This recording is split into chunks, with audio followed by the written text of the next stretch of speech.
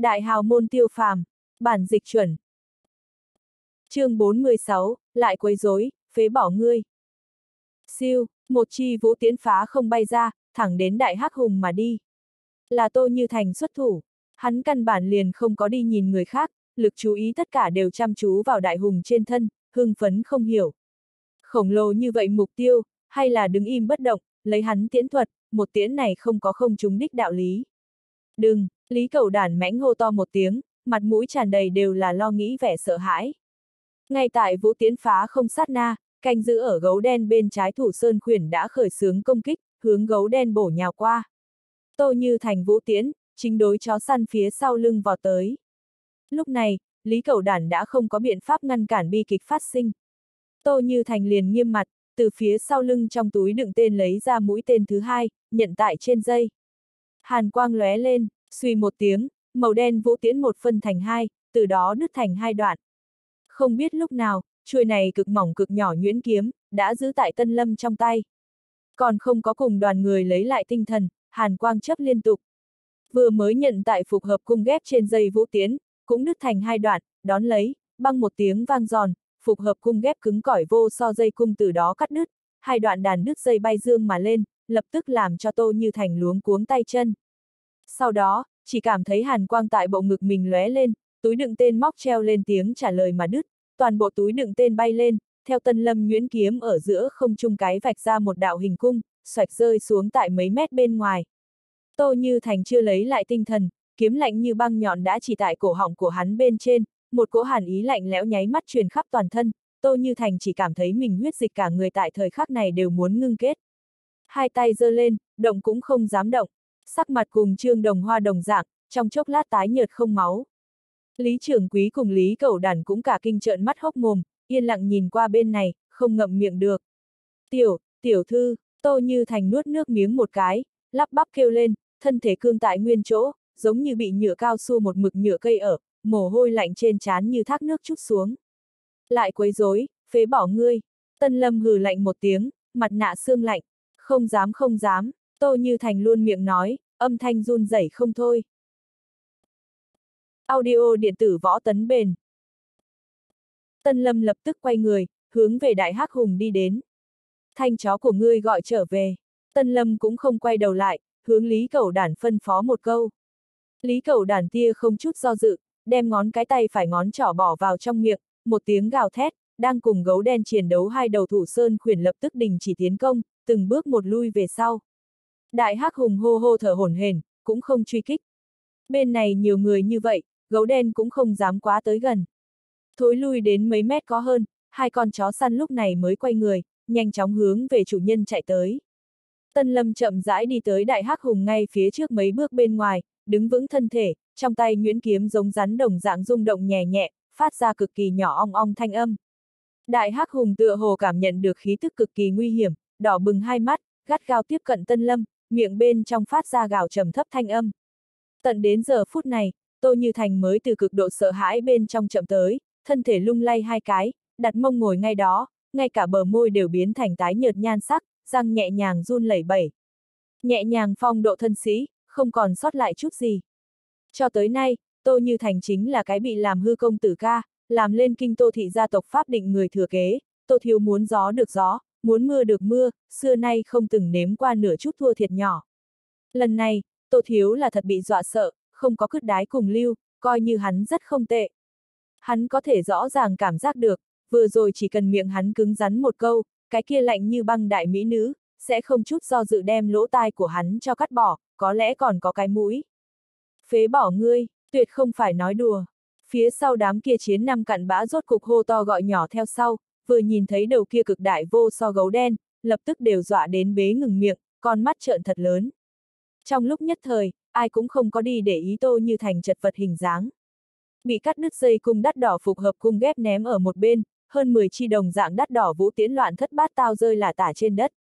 Liền ở thời điểm này, tân lâm động, cánh tay phải đồng dạng, nhuyễn kiếm từ trái đến phải, nghiêng nghiêng hướng lên, tại gấu đen ngực xẹt qua, cự hùng ngực màu trắng nguyệt nha da lông lập tức chảy ra một đạo huyết hồng, da thịt xoay chuyển.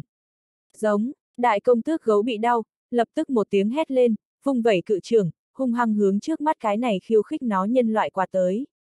Gấu đen hai cái tay trước, vật lộn lúc là cực kỳ sắc bén vũ khí, dù coi như là 3.400 cân đại công tước heo bị vỗ chúng, đều sẽ té ra thật xa. Tân lâm phiêu nhiên né tránh, thân hình tốt không cấp tốc, nhưng lại yêu mỹ dị thường. Kiều tiểu yểu điệu dáng người cùng đại công tước gấu cực đại vô so thân thể, hình thành dị thường tươi sáng đối so. Đi theo tô như thành mà đến hai tên cô gái xinh đẹp kìm lòng không đặng bịt miệng lại, mặt mũi tràn đầy hoảng sợ đến cực điểm. Đại công tước gấu một trưởng vung không, hàn quang lấp lóe bên trong, lại là một tiếng thống khổ gào thét. Rất hiển nhiên, gấu đen lại một lần nữa bị thương. Lý cầu đàn mắt thấy đây hết thảy, song tay nắm chặt, sắc mặt tái nhợt, khẩn trương đến toàn thân đều đang khe khẽ run rẩy. Đao săn, nương, rốt cục để hắn tận mắt nhìn đến. Vô so giã tính sôi trào. Chỉ là tình hình trong sân thực tế quá quái dị, Lý cẩu Đản nằm mơ cũng không nghĩ tới, đao săn nhân vật chính, vậy mà lại là như thế này một cái nhìn qua yếu đuối cô gái trẻ tuổi, dáng dấp còn đẹp mắt như vậy. Nói ra sẽ không có người tin tưởng, đánh chết cũng sẽ không có người tin tưởng. Giống, đại công tước gấu lần thứ ba gào thét, tiếng giống bên trong mang theo thống khổ cùng vô so phẫn nộ. Đâm, đâm trước ngực của nó. Nếu không, chảm nó phần gáy cũng được. Dạng này không dùng được.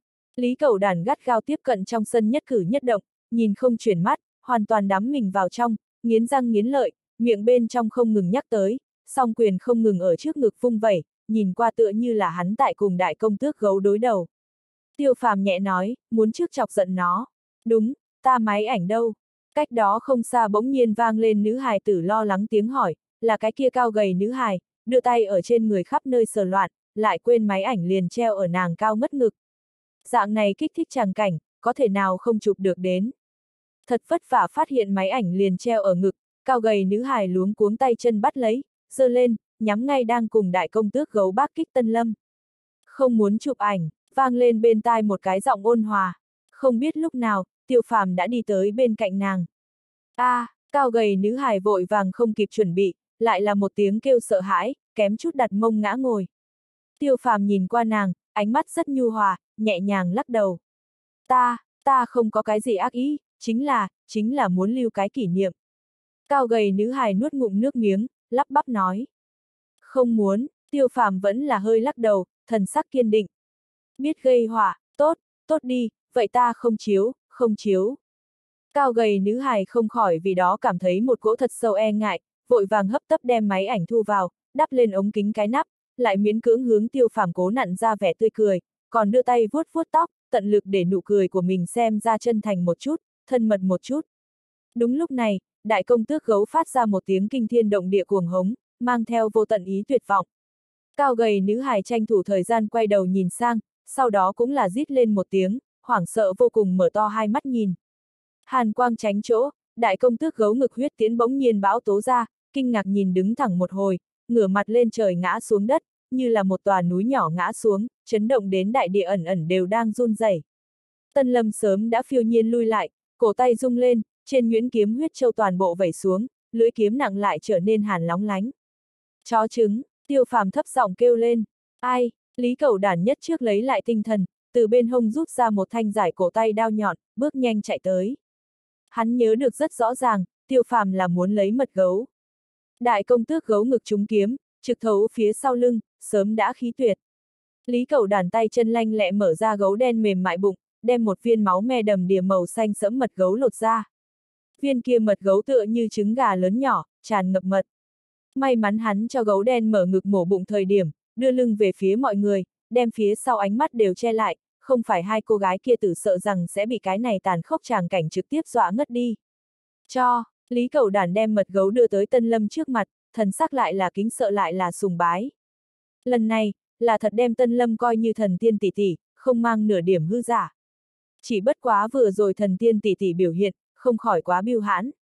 Nhưng ở Lý Cầu Đàn trong suy nghĩ, thần tiên tỷ tỷ liền nên là cái dạng này. Tân Lâm lấy ra một cái hình chữ nhật bạch ngọc hộp, mở ra. Lý Cầu Đàn cẩn thận từng ly từng tí đem mật gấu bỏ vào. Cái này gấu làm sao bây giờ? Nặng như vậy, chúng ta mang không đi ra. Nếu không, ta cho người thành bốn cái tay gấu cắt đi a. À. Lý Cầu Đàn lập tức nhìn qua kia máu thịt be bét gấu đen thi thể, túm túm lợi. Bình thường bọn hắn lên núi đi săn, sẽ không là hai người, sẽ có bốn năm cái thợ săn cùng một chỗ hành động. Đánh tới như thế lớn dã vật, bốn năm người cùng một chỗ hành động, cũng có biện pháp sách về đi. Nhưng bây giờ không được, Tô Như Thành kia một đám, rõ ràng không đáng tin cậy. Bọn hắn có thể đuổi trước lúc trời tối mình đi ra cái này thâm sơn lão lâm, đều đã coi như là rất đáng gờm, căn bản liền không thể chỉ nhìn bọn họ lại giúp nó việc khó của hắn. Ta chỉ cần mật gấu, cái khác ngươi tự mình xử lý. Tân Lâm lạnh nhạt nói, đem hộp ngọc thu vào. Vậy được rồi, Lý Cầu Đản cũng là cực người quyết đoán, lưu loát đem bốn cái tay gấu đều cắt đi, mở ra một cái túi sách da rắn đặt đi vào, cõng ở trên lưng. Bất kể nói thế nào, Tô Như Thành bọn hắn cũng móc 2.000 khối, cái này bốn cái tay gấu, liền xem như cho chiến lợi phẩm của bọn hắn đi. Kỳ thật Lý Cầu đàn cũng không biết, giống khổng lồ như vậy hoang dại tay gấu, đến lên kinh, một cái đều xa xa không chỉ bán 2.000. Nhưng coi như Lý Cầu đàn biết, cũng vẫn là sẽ đem tay gấu giao cho Tô Như Thành bọn hắn. Làm người muốn giảng quy củ, không thể thấy lợi quên nghĩa. Rời núi thời điểm, đội ngũ trở nên rất trầm mặc, trừ Lý Cầu Đản, tất cả mọi người cùng tiêu phàm tân lâm cách xa xa, ai cũng không dám tới gần. Tỷ tỷ, ngươi, các ngươi đến cùng là làm gì? Yên lặng đi một trận, Lý Cầu Đản đến cùng không nín được, tráng lên lá gan hỏi. Tân lâm nhẹ hừ một tiếng, không cho đáp lại. Chó trứng, ngươi về sau đến trong thành, phải nhớ kỹ một đầu, không nên thám thính bí mật, tuyệt đối không được đi truy cứu. Tiêu phàm nhẹ nói, ai, ta ghi nhớ. Lý Cầu Đản mãnh gật đầu. Hiện tại, đối với tiêu phàm cùng Tân Lâm nói bất luận cái gì một câu, hắn đều sẽ nhớ đến xít sao, tuyệt không quên mất. Tiêu phàm mỉm cười, lần nữa vỗ vỗ bờ vai của hắn. chương 47, câu thần. Khánh Nam huyện núi nhiều, nhiều có phải hay không? Xe thương vụ một đường Nam đến, cơ hồ đều là trong núi đi dạo, vòng quanh núi đường cái một vòng tiếp một vòng, ngoài một thước chính là vách núi tuyệt bích, vực sâu vạn trượng, ngẫu nhiên hướng ngoài cửa sổ liếc mắt một cái, sợ độ cao người có thể sẽ lập tức cảm thấy trái tim rút gấp, toàn thân không thoải mái. Xe thương vụ lái xe là chạy quen đường núi, mấy giờ xuống tới, đều có chút sợ mất mật không chịu đựng nổi. Ngược lại là hai vị trẻ tuổi hành khách 10 điểm bình tĩnh, một mực tại trong xe nhắm mắt dưỡng thần, trên đường đi cơ hồ một câu đều không nói, kém chút không có đem lái xe biệt xuất bệnh tới.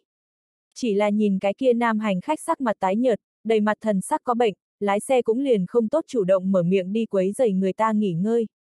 Đã bệnh, nhưng lại không biết đuổi mấy trăm bên trong đường núi, chạy đến Khánh Nam cái này thâm sơn cùng cốc tới làm cái gì.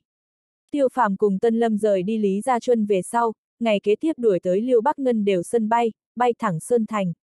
Tại Sơn Thành xuống máy bay về sau, nghỉ ngơi một đêm, ngày kế tiếp thuê đài xe thương vụ, chạy tới Khánh Nam huyện. Khánh Nam ở vào Sơn Thành Đông Nam phương hướng, là dân tộc tự trị huyện, cùng ích đông giáp giới, lại đi qua hơn 100 cây em, chính là Khánh Nguyên Thành. Biết chuyến này khoảng cách xa, đi đại bộ phận phân là đường núi, cho nên mướn xe thương vụ. Xe thương vụ rộng rãi, cưỡi thoải mái dễ chịu độ xa mạnh hơn xa xe nhỏ hình sĩ. Cũng không có để Tân Lâm lái xe, ngay cả lái xe cùng một chỗ thuê. Hai người trên xe nghỉ ngơi, có thể dưỡng đủ tinh thần. Sáng sớm lên đường, hơn 2 giờ chiều, mới rốt cục đuổi tới Khánh Nam huyện thành. Khánh Nam mặc dù chỗ vắng vẻ, giao thông không tiện, bởi vì là trong phạm vi mấy chục dặm duy nhất đại thành trấn, huyện thành quy mô cũng tạm được, đầy náo nhiệt. Chính là bội thu về sau, lại cuối thu khí sảng, gia tạo thuận lợi, phụ cận không ít hương dân đều đến huyện thành đến đi chợ. Lái xe dựa theo yêu cầu, đem hai vị này mang theo mèo muôn lớn trầm mặc khách nhân đưa đến Khánh Nam huyện thành quan trấn nông mậu đại thị trường công thương hành chính quản lý chỗ. Cái này nông mậu đại thị trường là hai năm trước dựng lên, Khánh Nam huyện cục công thương dắt đầu. Huyện cục công thương cùng thành quan trấn công thương chỗ đều tại đại thị trường làm việc, tầng 4 trở lên, chính là cục công thương cán bộ công chức ký túc xá. Tiêu phàm cùng Tân Lâm tới nơi này, muốn tìm một vị gọi là Chu Khánh Nam cán bộ. Căn cứ tư liệu biểu hiện, Chu Khánh Nam là Khánh Nam huyện thành quan trấn công thương quản lý chỗ phó sở trường, nhưng đây không phải tiêu phàm nghìn dặm xa xôi chạy đến núi này câu trong rãnh đến tìm hắn nguyên nhân. Tiêu phàm muốn tìm hắn, là bởi vì hắn còn có khác một cái danh hiệu Sơn Thành thành phố giới thứ hai câu cá tranh tài thứ ba. Tiêu phàm cần một vị cực kỳ xuất sắc câu cá cao thủ, giúp hắn đi câu một đầu ngọc dao. Luyện chế càn khôn đại hoàn đan, cần mới mẻ ngọc dao não làm thuốc. Căn cứ vô cực thuật tàng điển tịch ghi chép, ngọc dao chỉ có Khánh Nam huyện xung quanh sâu trong núi lớn mới có thể tìm đến tung tích, là vùng này đặc sản. Lấy lão tiêu ra quyền thế, nguyên bản không cần khó khăn như vậy, mặc kệ là mới mẻ mật gấu hay là ngọc dao não, chỉ cần tìm Tiêu Thiên là được. Tiêu Thiên bọn hắn trong hội kia hoàn khố nha nội, năng lượng chi lớn, vượt xa khỏi phổ thông quần chúng ngoài ý liệu. Một điện thoại đánh xuống, phía dưới ứng người tụ tập. Tỷ như lần trước tại La Châu huyện Hồng Sơn Thôn, cải biến mộ tổ mộ viên, cũng chính là Tiêu Thiên một điện thoại, Dương Thạch liền lấy tốc độ nhanh nhất đuổi tới La Châu huyện, một câu liền đem phó huyện trưởng cho sai xử. Mới mẻ mật gấu cùng ngọc dao não mặc dù là vật hy hãn sự tình, Tiêu Thiên cũng chỉ cần một điện thoại, liền có người nghĩ hết trăm phương ngàn kế cho hắn đưa đến thủ đô đi, còn không lấy nửa phân thù lao. Nhưng tình huống bây giờ rõ ràng khác thường, biết rất rõ ràng chỗ tối có một cái siêu cấp đại cao thủ tại nhìn chằm chằm lão tiêu nhà, vì cẩn thận lý do, tiêu phàm tuyệt không nguyện ý xuyên thấu qua tiêu thiên đi làm chuyện này. Bất việc ngược lại là bất việc, liền sợ không gánh nổi bí mật. Mà lại khẳng định không gánh nổi bí mật, việc quan hệ tiêu gia toàn tộc vận mệnh, tại càn khôn đại hoàn đan luyện chế hoàn thành trước đó, tiêu phàm quyết không thể mạo hiểm. Đây cũng là hắn vì cái gì tại vừa mới thôi diễn xong máu tướng, không kịp tính dưỡng khôi phục nguyên khí, liền ngựa không dừng vó chạy đông bắc dưới tây nam nguyên nhân. Hắn tự thân xuất mã, mới có thể bảo chứng trời cơ hoàn toàn che đậy, không bị đối phương phát giác. Câu cá cái này công việc, tiêu phàm cũng đã từng làm, nhưng chưa nói tới cao thủ. Chỉ có tại nhàn hạ chi dư, ngẫu nhiên thả câu, chủ yếu cũng vẫn là vì tôi luyện tâm trí, hóa giải tiêu trừ táo bạo chi khí. Như thế cái trình độ, muốn câu ngọc giao, không thể nghi ngờ là thiên phương dạ đàm. Vị này Chu Khánh Nam nếu là Sơn Thành thành phố câu cá tranh tài quý quân, lại là Khánh Nam huyện người, ngược lại chính là người chọn lựa thích hợp nhất. Tiêu Phàm cùng Tân Lâm đi tới công đi chỗ lớn văn phòng. Chu Khánh Nam mặc dù là công thương chỗ phó sở trưởng, nhưng ở Khánh Nam huyện thành quan trấn dạng này huyện thành nhỏ, một cái công thương chỗ phó sở trưởng, cũng không có điều kiện đơn độc có được phòng làm việc của mình. Vào cửa thứ một cái bàn làm việc về sau, ngồi một vị trẻ tuổi cán bộ, ngay tại buồn bực ngán ngẩm xem báo chí. Còn không có cùng tiêu phàm mở miệng hỏi thăm, vị này cán bộ trẻ tuổi cảm giác có người vào cửa, đã nhàn rỗi buông xuống báo chí, ngẩng đầu lên, tính cảnh giác giống như rất cao. Các ngươi tìm ai? Thấy hai người trang phục phổ thông, cán bộ trẻ tuổi ngữ khí cũng không phải là rất khách khí, tự nhiên cũng không cao ngạo. Bởi vì vĩ độ cao thấp khác biệt, cực bắc chỉ địa đã hàn ý um tùm, Khánh Nam bên này vẫn tương đối ấm áp, tiêu phàm cũng chưa từng mặc đường trang, mà là phổ thông màu xám kẹp khắc, rất đại lộ hàng, Hắc Lân cũng không có ghé vào trong ngực hắn. Khánh Nam huyện thành không so Lý Gia Chuân, là người ở đông đúc chi địa, nếu là bí mật làm việc, tất nhiên là càng biết điều càng tốt, tiêu phàm không muốn gây nên bất luận kẻ nào chú ý. Về phần Tân Lâm, tự nhiên hay là loại kia cực kỳ mộc mạc cách ăn mặc, chỉ là thiên sinh lệ chất, cuối cùng khó mà tận che đậy. Tiêu phàm mỉm cười, khách khí hỏi, xin hỏi Chu Khánh Nam Chu đồn trưởng ở đây sao? Chúng ta là từ phương Bắc đến, muốn tìm hắn có chút việc. Chuyện gì? Lần này trả lời lại không phải cán bộ trẻ tuổi, mà là ngồi tại bên trong nhất một cái bàn làm việc sau một vị trung niên nam cán bộ, ước chừng khoảng 40 tuổi, dáng người hơi mập, tướng mạo hung ác nham hiểm, đặc biệt một hai tròng mắt quay tròn loạn chuyển, cho người cảm nhận không tốt. Xin hỏi ngươi là, ta chính là Chu Khánh Nam, các ngươi đánh ở đâu ra, tìm ta có chuyện gì? Khả năng tiêu phàm tân lâm nhìn qua thực tế không giống như là lưu manh nào lưu manh loại hình tên vô lại, Chu Khánh Nam liền trực tiếp thừa nhận thân phận của mình. Lại nói hắn không có làm chuyện xấu, cũng không có gì tốt sợ hãi. Chỉ thấy vị này tuần thần câu trước mặt trên bàn công tác phủ lên mấy chương báo chí cũ, bên cạnh bày biện một cái hộp mực, trong tay cầm một cây bút lông, đang luyện chữ. Luyện chữ giảng cứu trầm eo xuống tấn, sách cánh tay nâng cao cổ tay, đối với lực cánh tay cùng bắp thịt yêu cầu đều tương đối cao, vừa vặn câu cá cũng coi trọng nhất bắp thịt, hai thứ này yêu thích, ngược lại xác thực có chỗ giống nhau. Dùng cái này nghĩ đến, vị này chu đồn phó tướng mạo cứ việc không làm người khác ưa thích, liền câu thuật mà nói, hẳn là là rất không tệ. chu đồn trưởng, kính ngưỡng đại danh, nghe nói ngươi là toàn thành phố câu cá tranh tài ba vị trí đầu, chúng ta cố ý tới bái phỏng. Ồ, các ngươi là dặm đến sao? Cũng thích câu cá, Chu Khánh Nam cũng không vì tiêu phàm khách khí mà đổi nhan tương hướng, vẫn như cũng nhìn từ trên xuống dưới hai người bọn họ, hung ác nham hiểm trên mặt không bị chê cười cho. Chúng ta là dặm đến, làm chút dược tài sinh ý. Lần này chuyên môn đuổi tới Khánh Nam, là muốn mời Chu đồn trưởng tự thân xuất mã. Một câu chưa nói xong, cổng vang lên tiếng bước chân nặng nề. Vừa nghe đến cái này tiếng bước chân, Chu Khánh Nam cùng vị kia cán bộ trẻ tuổi sắc mặt lập tức biến, liên tục không ngừng nhảy người lên, đầy mặt tươi cười, Chu Khánh Nam càng là cực tốc từ sau bàn công tác chuyển ra. Lập tức trước mắt tia sáng tối sầm lại, một cái thân thể cao lớn ngăn ở cổng. Trình cục trưởng, Chu Khánh Nam hai người liên tục gật đầu cúi người. Kỳ thật xuất hiện tại cửa ra vào vị này trình cục trưởng, cũng chưa nói tới vô cùng cao, mấu chốt là lớn, mập mạp, tựa như một tòa núi thịt cũng như, nhìn ra thể trọng chỉ ít vượt qua 200 cân. Khó trách hắn vừa rồi đi tới thời điểm, cả tòa lâu đều phảng phất đang khẽ chấn động. Trình cục trưởng ưỡn lấy bụng đứng ở nơi đó, uy nghiêm ánh mắt bốn phía quét qua, rơi vào tiêu phàm cùng tân lâm trên thân, hơi có vẻ kinh ngạc, hỏi, lão chu A, có khách. Trình cục trưởng ánh mắt dù sao khác biệt, tiêu phàm tân lâm trang phục mặc dù phổ thông, ẩn ẩn có đại gia khí chất, trình cục trưởng nên cũng không dám khinh thường. Chu Khánh Nam bận biểu tức nói a, không phải không phải, ta cũng không biết, có thể là nơi khác đến chúng ta nơi này đến làm việc a.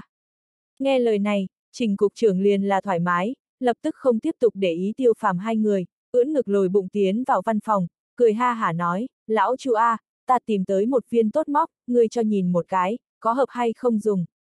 Nói, liền từ kẹp khác trong túi móc ra một cái nhìn qua rất là tinh mỹ cái hộp nhỏ, cẩn thận từng ly từng tí mở ra, từ bên trong lấy ra một viên sáng long lanh lưỡi câu. Chỉ riêng lưỡi câu mà nói, cái này móc không tính nhỏ, mà lại hình dạng tương đối đặc biệt, giàu có đường cong đẹp.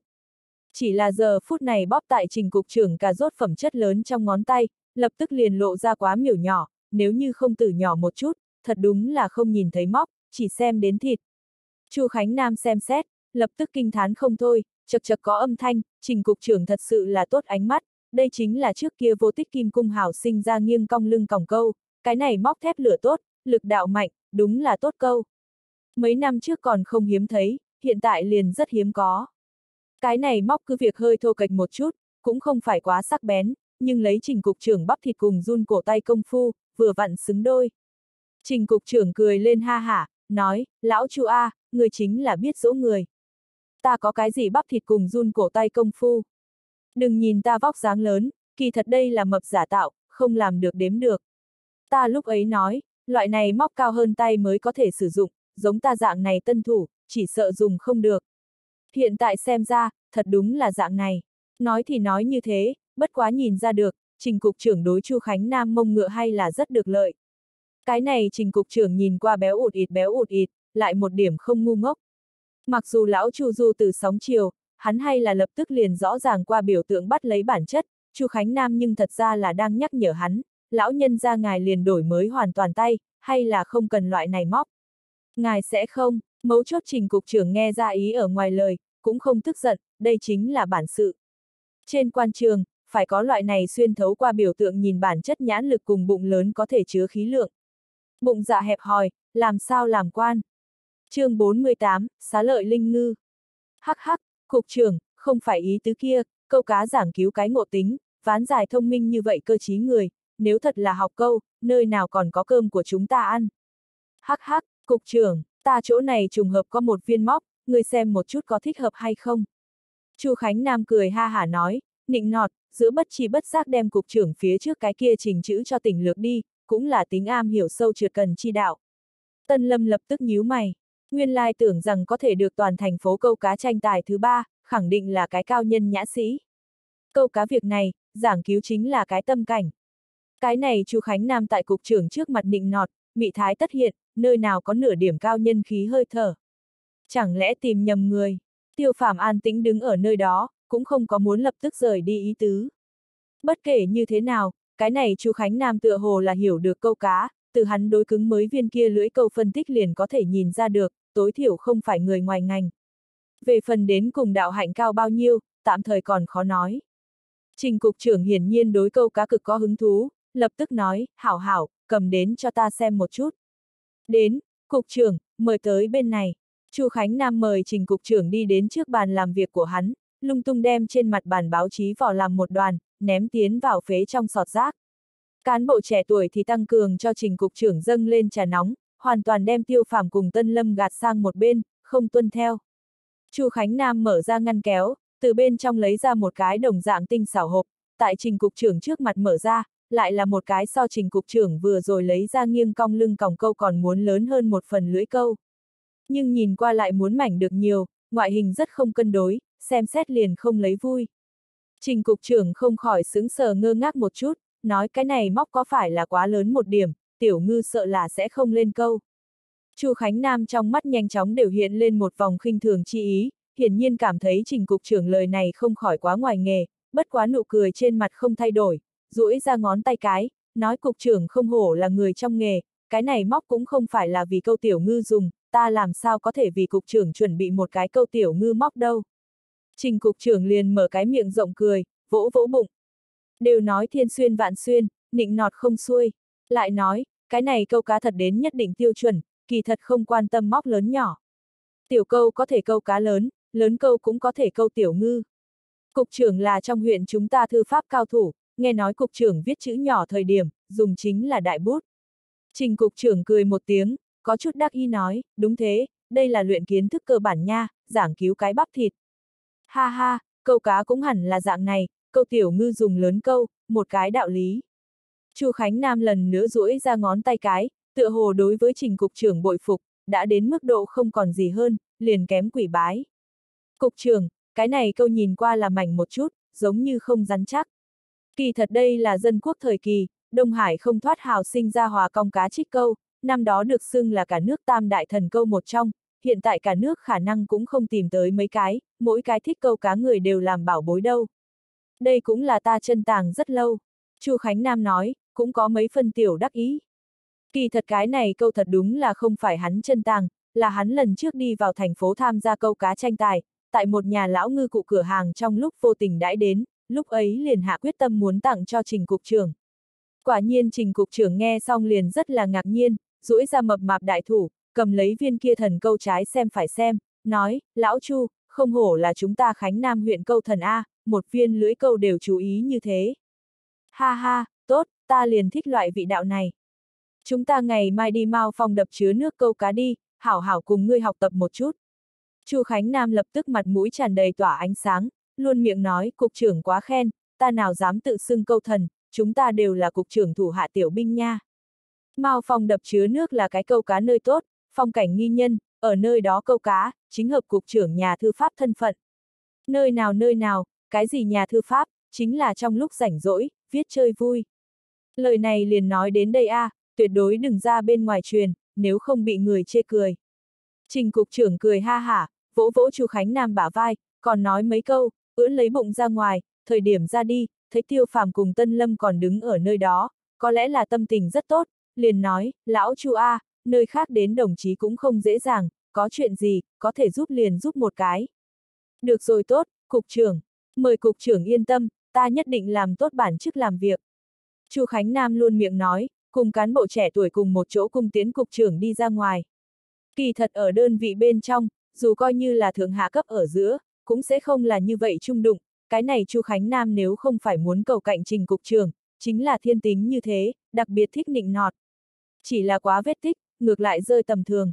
Cùng đưa tiễn trình cục trưởng, Chu Khánh Nam hai tay phản cõng, trở lại văn phòng, lập tức liền ngẩng đầu ưỡn ngực, nghiễm nhiên lãnh đạo cấp trên, nghiêng liếc tiêu phàm tân lâm một chút, đánh lấy giọng quan nói các ngươi đến cùng có chuyện gì a? À?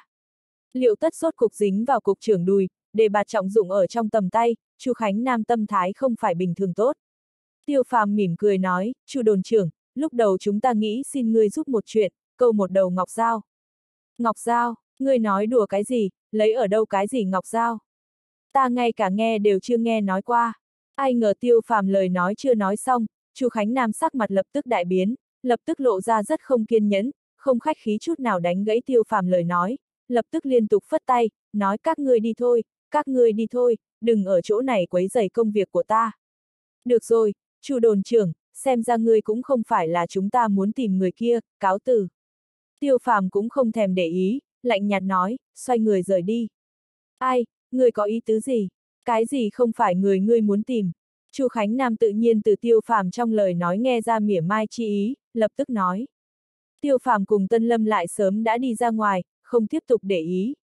Dừng a, người nào a, không hiểu thấu, Chu Khánh Nam mặt mũi tràn đầy mây đen, lẩm bẩm một câu, liền các ngươi cũng muốn câu ngọc dao, nói đùa. Cán bộ trẻ tuổi nhìn không được tò mò hỏi, Chu đồn trưởng, cái này ngọc dao rốt cuộc là thứ gì a? Nghe vào rất cái kia. Không có sự tình, người đừng nghe bọn họ nói mò. Chúng ta Khánh Nam huyện, chỉ có kỳ nhông, ở đâu ra cái gì ngọc dao. Chu Khánh Nam tựa hồ rất không muốn nhắc tới lên lời này đâu, quay người trở lại trước bàn làm việc, đốt điếu thuốc, thôn vân thổ vụ. Cán bộ trẻ tuổi đành phải ngồi trở lại vị trí của mình, nhếch miệng, trên mặt lộ ra cực kỳ khinh thường thần sắc, cho thấy phải Chu Khánh Nam vừa rồi các loại biểu hiện, để cái này cán bộ trẻ tuổi cũng là toàn thân nổi da gà.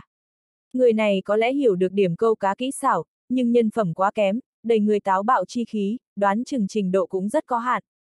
Tân Lâm lạnh lùng nói, Chu Khánh Nam đối bọn hắn thái độ không tốt, Tân Lâm cũng không quá để ý. Song phương hoàn toàn không tại một cái cấp bậc, đi cùng hắn so đo, không khỏi có phần. Muốn để Tân Lâm để ý, bao nhiêu cũng phải có chút vốn cách mới được. Nhân phẩm như câu phẩm, tiêu phàm mỉm cười tán đồng, đây cũng là hắn không có tiếp tục lưu lại nguyên nhân. Vô cực thuật tàng ghi chép, kia ngọc giao là linh vật, rất có thần trí. Câu người quá mức táo bạo, làm sao có thể câu được. Cùng đi, chờ, ừm, không lâu sau đó, tiêu phàm cùng Tân Lâm lại lần nữa nhìn thấy Chu Khánh Nam. Chu đồn phó ăn mặc đồng phục, đi theo phía sau hai tên thủ hạ, bao quát vừa mới ở văn phòng nhìn thấy vị kia cán bộ trẻ tuổi, từ văn phòng đi tới, xem bộ dáng là chuẩn bị tuần sát một chút thị trường. Cái này chợ nông dân quy mô không nhỏ, đại đại cửa hàng nho nhỏ quầy hàng, có hơn mấy trăm nhà. Tiêu phàm hai người ngay tại cách đó không xa một nhà quán trà uống trà. Từ khi hạo nhiên chính khí tu luyện tới cảnh giới viên mãn về sau, tiêu phàm liền không thế nào tiến vào ăn thịt, muốn ăn cũng là một chút đại bổ nguyên khí loại thịt, tỉ như thịt rùa, bình thường chủ yếu ăn chút hạt thông, cây long nhãn, hạt sen loại hình chịu cháo. Ngược lại là tân lâm khẩu vị tựa hồ so hắn còn tốt hơn một chút, ngẫu nhiên cũng ăn chút thức ăn mặn. Chu Khánh Nam hai tay chắp sau lưng, đi thong thả khoan thai, có chút đắc chí vừa lòng dáng vẻ. Tựa hồ cái này chợ nông dân, chính là hắn chu đồn trưởng địa bàn, tất cả ở đây kinh thương thương hộ, đều là thần dân của hắn. Bất quá chu đồn trưởng ngạo nghễ biểu lộ cũng không có kiên trì bao lâu, liền đổi sắc mặt, nhanh chân hướng về chợ nông dân cổng một bên đi đến. Nơi đó ngồi một cái mặc màu vàng sắc kẹp khắc nam tử, mang theo cái mũ rộng vành, làn da ngăm đen, bên người dựng thẳng một cây cần câu, bên trên nước mắt điểm lấm tấm điểm, trước mặt bày biện một con nhựa thùng nước, có hai cái đi ngang qua người đi đường tại thùng nước trước mặt dừng bước, cúi đầu hướng trong thùng nước nhìn lại. a à, đây là, đây là xá lợi linh ngư a. À. Nó bên trong một cái ước chừng chừng 50 tuổi nam tử trung niên nhìn xem trong thùng nước du động mấy đầu tiểu ngư, giật mình nói. Mũ rộng vành nam tử ngẩng đầu lên, nhẹ gật đầu, nói, đại ca là cái biết hàng người. Nhìn qua, ước chừng ba mười mấy tuổi bộ dáng, trên mặt nếp nhăn rất sâu. Hết thảy thích câu cá người, thường xuyên tại giã ngoại chịu đựng phơi gió phơi nắng, làn da đều tương đối thô giáp, cũng tương đối trông có vẻ giả tướng. Nói như vậy, thật sự là xá lợi linh ngư. Một, hai, ba, bảy, hết thảy bảy đầu. Chật chật, nhiều như vậy xá lợi linh ngư, thật không đơn giản, bình thường người, tuyệt đối câu không đến nhiều như vậy, cái này nhưng là đồ tốt. Huynh đệ, nói cái giá đi, bán thế nào? Ta muốn hết, nam tử trung niên lộ ra 10 điểm thần sắc mừng rỡ, tiện tay từ trong túi móc bóp ra, căng phòng, đút lấy một lớn chồng trăm nguyên tờ, có thể thấy được là người có tiền. Tốt, một đầu 60, 67402, lấy cái số nguyên, đại ca cho 400 đi. Hảo hảo, huynh đệ thật là một cái người sảng khoái, 400 liền 400. Nam tử trung niên càng là vui mừng quá đỗi, tựa hồ đối với cái giá tiền này phi thường hài lòng. Cái này thùng nước bên trong cái gọi là xá lợi linh ngư, bất quá dài khoảng 2 tấc, đoán chừng một đầu vẫn chưa tới nửa lượng nặng, một đầu 60 khối nhân dân tệ, nghe trung niên nam tử này khẩu khí, tốt như chính mình còn chiếm đại tiện nghi, nhưng lại không biết con cá này đến cùng có gì chỗ chân quý, đáng giá dạng này giá tiền rất lớn. Nam tử trung niên đang chuẩn bị từ trong bóp ra ra bên ngoài bỏ tiền, thình lình một tiếng quát chói tai. Làm gì, ai bảo các ngươi ở đây bày quầy bán hàng rồi? Chính là Chu Khánh Nam, mang theo hai người thủ hạ, mặt mũi tràn đầy vẻ không vui, khí thế hung hăng đi tới. chương 49, chân chính câu nói cao thủ. Nha, là câu thần. Ha ha, câu thần đến rất đúng lúc, người giúp ta xem một chút, đây có phải hay không là chính tông xá lợi linh ngư. Nam tử trung niên tựa hồ nhận biết Chu Khánh Nam, cười ha hả nói. Ai ngờ Chu Khánh Nam một điểm không thèm chịu nể mặt mũi, lạnh lùng liếc nhìn hắn một cái, không thèm để ý, trực tiếp đi tới trước mặt, cười lạnh một tiếng, nói Yến Đông Lâu, lại là ngươi. Yến Đông Lâu dĩ nhiên chính là kia người bán cá nam tử, nhìn xem Chu Khánh Nam tới, có chút khẩn trương, liên tục không ngừng đứng người lên, bồi cười nói, Chu đồn trưởng. Chu Khánh Nam một tay chống nạnh, một tay chỉ Yến Đông Lâu cái mũi, từ trên cao nhìn xuống nói, Yến Đông Lâu, ta đã cảnh cáo ngươi bao nhiêu lần rồi. Nơi này là lối đi bộ, không phải bày quầy bán hàng địa phương. Ngươi làm sao dậy mãi không sửa đâu. Yến Đông Lâu nói, chu đồn trưởng, ngươi nhìn, cứ như vậy mấy đầu tiểu ngư, cũng không tính được là bày quầy bán hàng A. Hừ hừ, ngươi còn mạnh miệng đâu. Nếu như mỗi người đều giống như ngươi, ở đây bày mấy con cá, kia không lộn xộn rồi. Chúng ta làm cái này chợ nông dân còn có ý nghĩa gì? Chính phủ hoa mấy ngàn vạn, chính là cho loại người như ngươi chiếm món lời nhỏ. Tịch thu, nghe xong tịch thu, Yến Đông Lâu liền gấp mắt, liên tục không ngừng nói, đừng đừng đừng, chu đồn trưởng, ta đi ta đi, ta lập tức đi ngay. Đi, ngươi nói đến là đến, nói đi là đi, đây là nhà ngươi a. À. Người đây là phi pháp kinh doanh, tịch thu. Chu Khánh Nam càng thêm chỉ cao khí dương, khẽ vươn tay liền cầm lên cái kia thùng nước.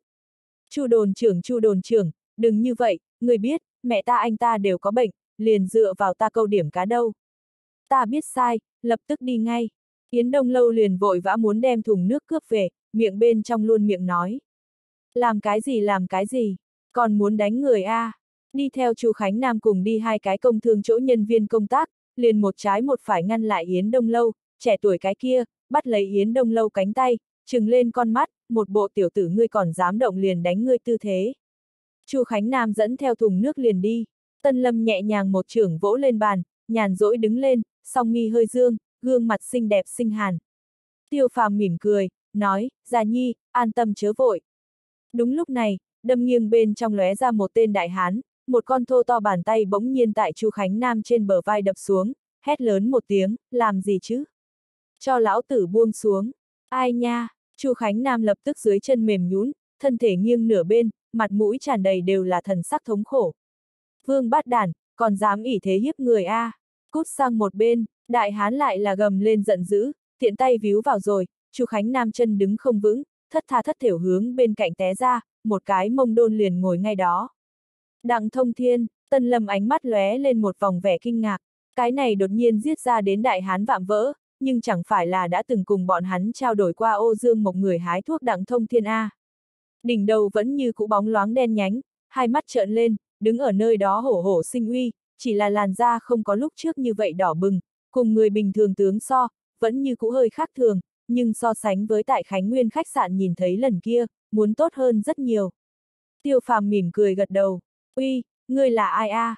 Ai nha ai nha, hai tên vặn lại Yến Đông Lâu cán bộ trẻ tuổi vừa mở miệng giống một tiếng, liền ai nha không dứt, lại là cho đặng thông thiên bóp dừng tay cổ tay, khẽ đảo một vùng, đều cùng Chu Khánh Nam đồng dạng, hướng bên cạnh té ra, kém chút ngã ngồi. Danh con, chỉ có ngần ấy bản sự, cũng dám khi dễ người. Đặng thông thiên mở cái miệng rộng, rất khinh thường nói.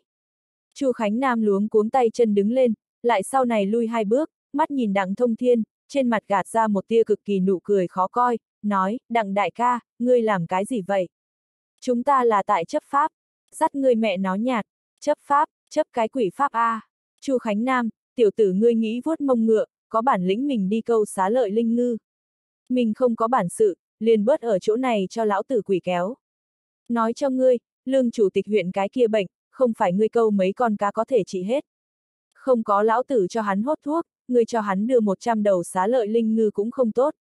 Cút, đừng để lão tử gặp lại ngươi, không phải lão tử gặp ngươi một lần đánh một lần. Đừng nhìn Chu Khánh Nam tại trước mặt người khác chỉ cao khí dương, đụng phải đặng thông thiên, cái dám cũng không dám thả một cái, đặng thông thiên hai con trâu trừng mắt, không chịu được lại liên tiếp hướng lui về phía sau mấy bước, hung ác nham hiểm trên mặt lúc đỏ lúc trắng, sửng sốt không dám lên tiếng. Cái này mọi dợ nói được làm được, lực to như trâu, lại là lương chủ tịch huyện chỗ ngồi khách quý, Chu Khánh Nam còn thật đắc tội không nổi. Đặng thông thiên lúc này mới nhấc lên cái kia thùng nước, đi đến Yến Đông Lâu trước mặt, nói cho, cầm đi. Về sau đừng sợ cái này hỗn đản, hắn lại muốn dám khi dễ người, người nói cho ta, ta thu thập hắn. Yến Đông Lâu mặt mũi tràn đầy hổ thẹn, tiếp nhận thùng nước, ngập ngừng nói nói, đặng đại ca, nhờ có ngươi. Nói nhảm, đều nói cho ngươi, có khó khăn gì cứ việc tìm ta, làm sao lão không nghe đâu. Yến Đông Lâu liền gãi gãi đầu, cười hắc hắc, đặng đại ca, ai, đặng thông thiên bỗng nhiên toàn thân chấn động, bỗng nhiên xoay người lại, lập tức liền trừng lớn như nhãn, trên mặt lộ ra tuyệt đối không dám tin thần sắc. Tiêu phàm mỉm cười đứng ở sau lưng hắn, ai nha, là tiêu tiên sinh, tiêu tiên sinh, ta đang giàu không biết đi cái kia tìm ngươi đây.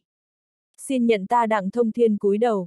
Một lời chưa tất, đặng thông thiên hai tay ôm quyền, xá dài tới đất, thần thái kính cẩn vạn phân, ngữ khí đều hơi có chút run.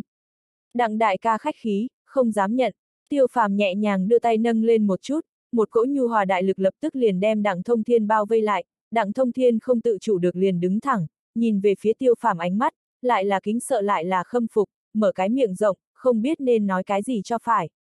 Niệm động lực đến, như thế thần công, đặng thông thiên chỉ ở hắn lão tử miệng bên trong nghe nói qua, không nghĩ tới hôm nay tự thể nghiệm đến. Đặng đại ca tình huống, so ta dự đoán còn tốt hơn. Thật đáng mừng, tiêu phàm cẩn thận chu đáo một chút đặng thông thiên tướng mạo, mỉm cười gật đầu, rất là vui mừng. Đặng thông thiên cười ha hả nói, tiêu tiên sinh, ngươi thật đúng là thần. Ta chiếu ngươi mở đơn thuốc phục ba uống thuốc, lại dựa theo ngươi giáo đạo khí chi pháp luyện tập nửa tháng, trước kia những cái kia mau bệnh, liền toàn cũng không thấy, ha ha, cái này thế nhưng là thật lợi hại. Nói, đặng thông thiên liền vươn giống như củ cải rốt phẩm chất ngón tay cái. Tiêu phàm vừa cười vừa nói, cũng không có thần kỳ như vậy, chủ yếu là đặng đại ca đầy người chính khí, trạch tâm nhân hậu, dương khí từ đầu đến cuối không có làm bị thương tâm mạch của ngươi, hiệu quả liền so dự liệu còn tốt hơn. Tân Lâm hé miệng cười khẽ, nói cái này gọi tốt người có hảo báo. Đối với Tân Lâm mà nói, có thể cho một câu như vậy lời bình, thực tế là rất phá lệ. Cái này đặng thông thiên bên ngoài đồng hồ thô hào, lại là tính tình bên trong người, Tân Lâm rất thích tính cách của hắn cùng làm người. Đặng thông thiên mở cái miệng rộng cười không ngừng, chấn động đến đoàn người màng nhĩ ông ông tác hưởng. Đúng, tiêu tiên sinh, hai người vị làm sao đến Khánh Nam đến rồi. Có chuyện gì cần ta hỗ trợ, một mực mở miệng. Ta lão đặng liều mạng cũng phải cấp ngươi làm được. Đặng đại ca, việc này nói đến, có lẽ thật đúng là cần nhờ ngươi hỗ trợ. Ta muốn tìm một câu cá cao thủ, giúp ta câu một con cá. Lúc đầu ta tìm là vị này chu đồn trưởng, bất quá nhìn qua, chu đồn trưởng cũng không phải là người ta muốn tìm. Câu cá cao thủ, ha ha, tiêu tiên sinh, người tìm hắn thật đúng là tìm nhầm. Hắn chu Khánh Nam chính là cái quang sẽ khoác lác ra hỏa, hắn sẽ câu cái giám cá. Liền hắn kia trình độ, còn dám tự xưng là cao thủ. Phi, đặng thông thiên liếc qua xa xa đứng chu Khánh Nam, một ngụm xì trên mặt đất, mặt mũi tràn đầy vẻ khinh thường. chu Khánh Nam lập tức tốt không xấu hổ, lại lại không dám mở miệng phản bác. Tiêu tiên sinh, không nói gạt ngươi, khác bận biểu ta không nhất định giúp được, nhưng lần trở lại này nha, thật đúng là xảo. Nào, vị này, Yến Đông Lâu Yến huynh đệ, mới thật sự là cao thủ. Luận đến câu cá trình độ, hắn tại Khánh Nam xưng thứ hai, liền không ai dám xưng đệ nhất. Đông Lâu, tới, nhìn một chút tiêu tiên sinh cùng tân cô nương, đây chính là ta trước mấy ngày đề cập với người từng tới vị kia đại ân nhân.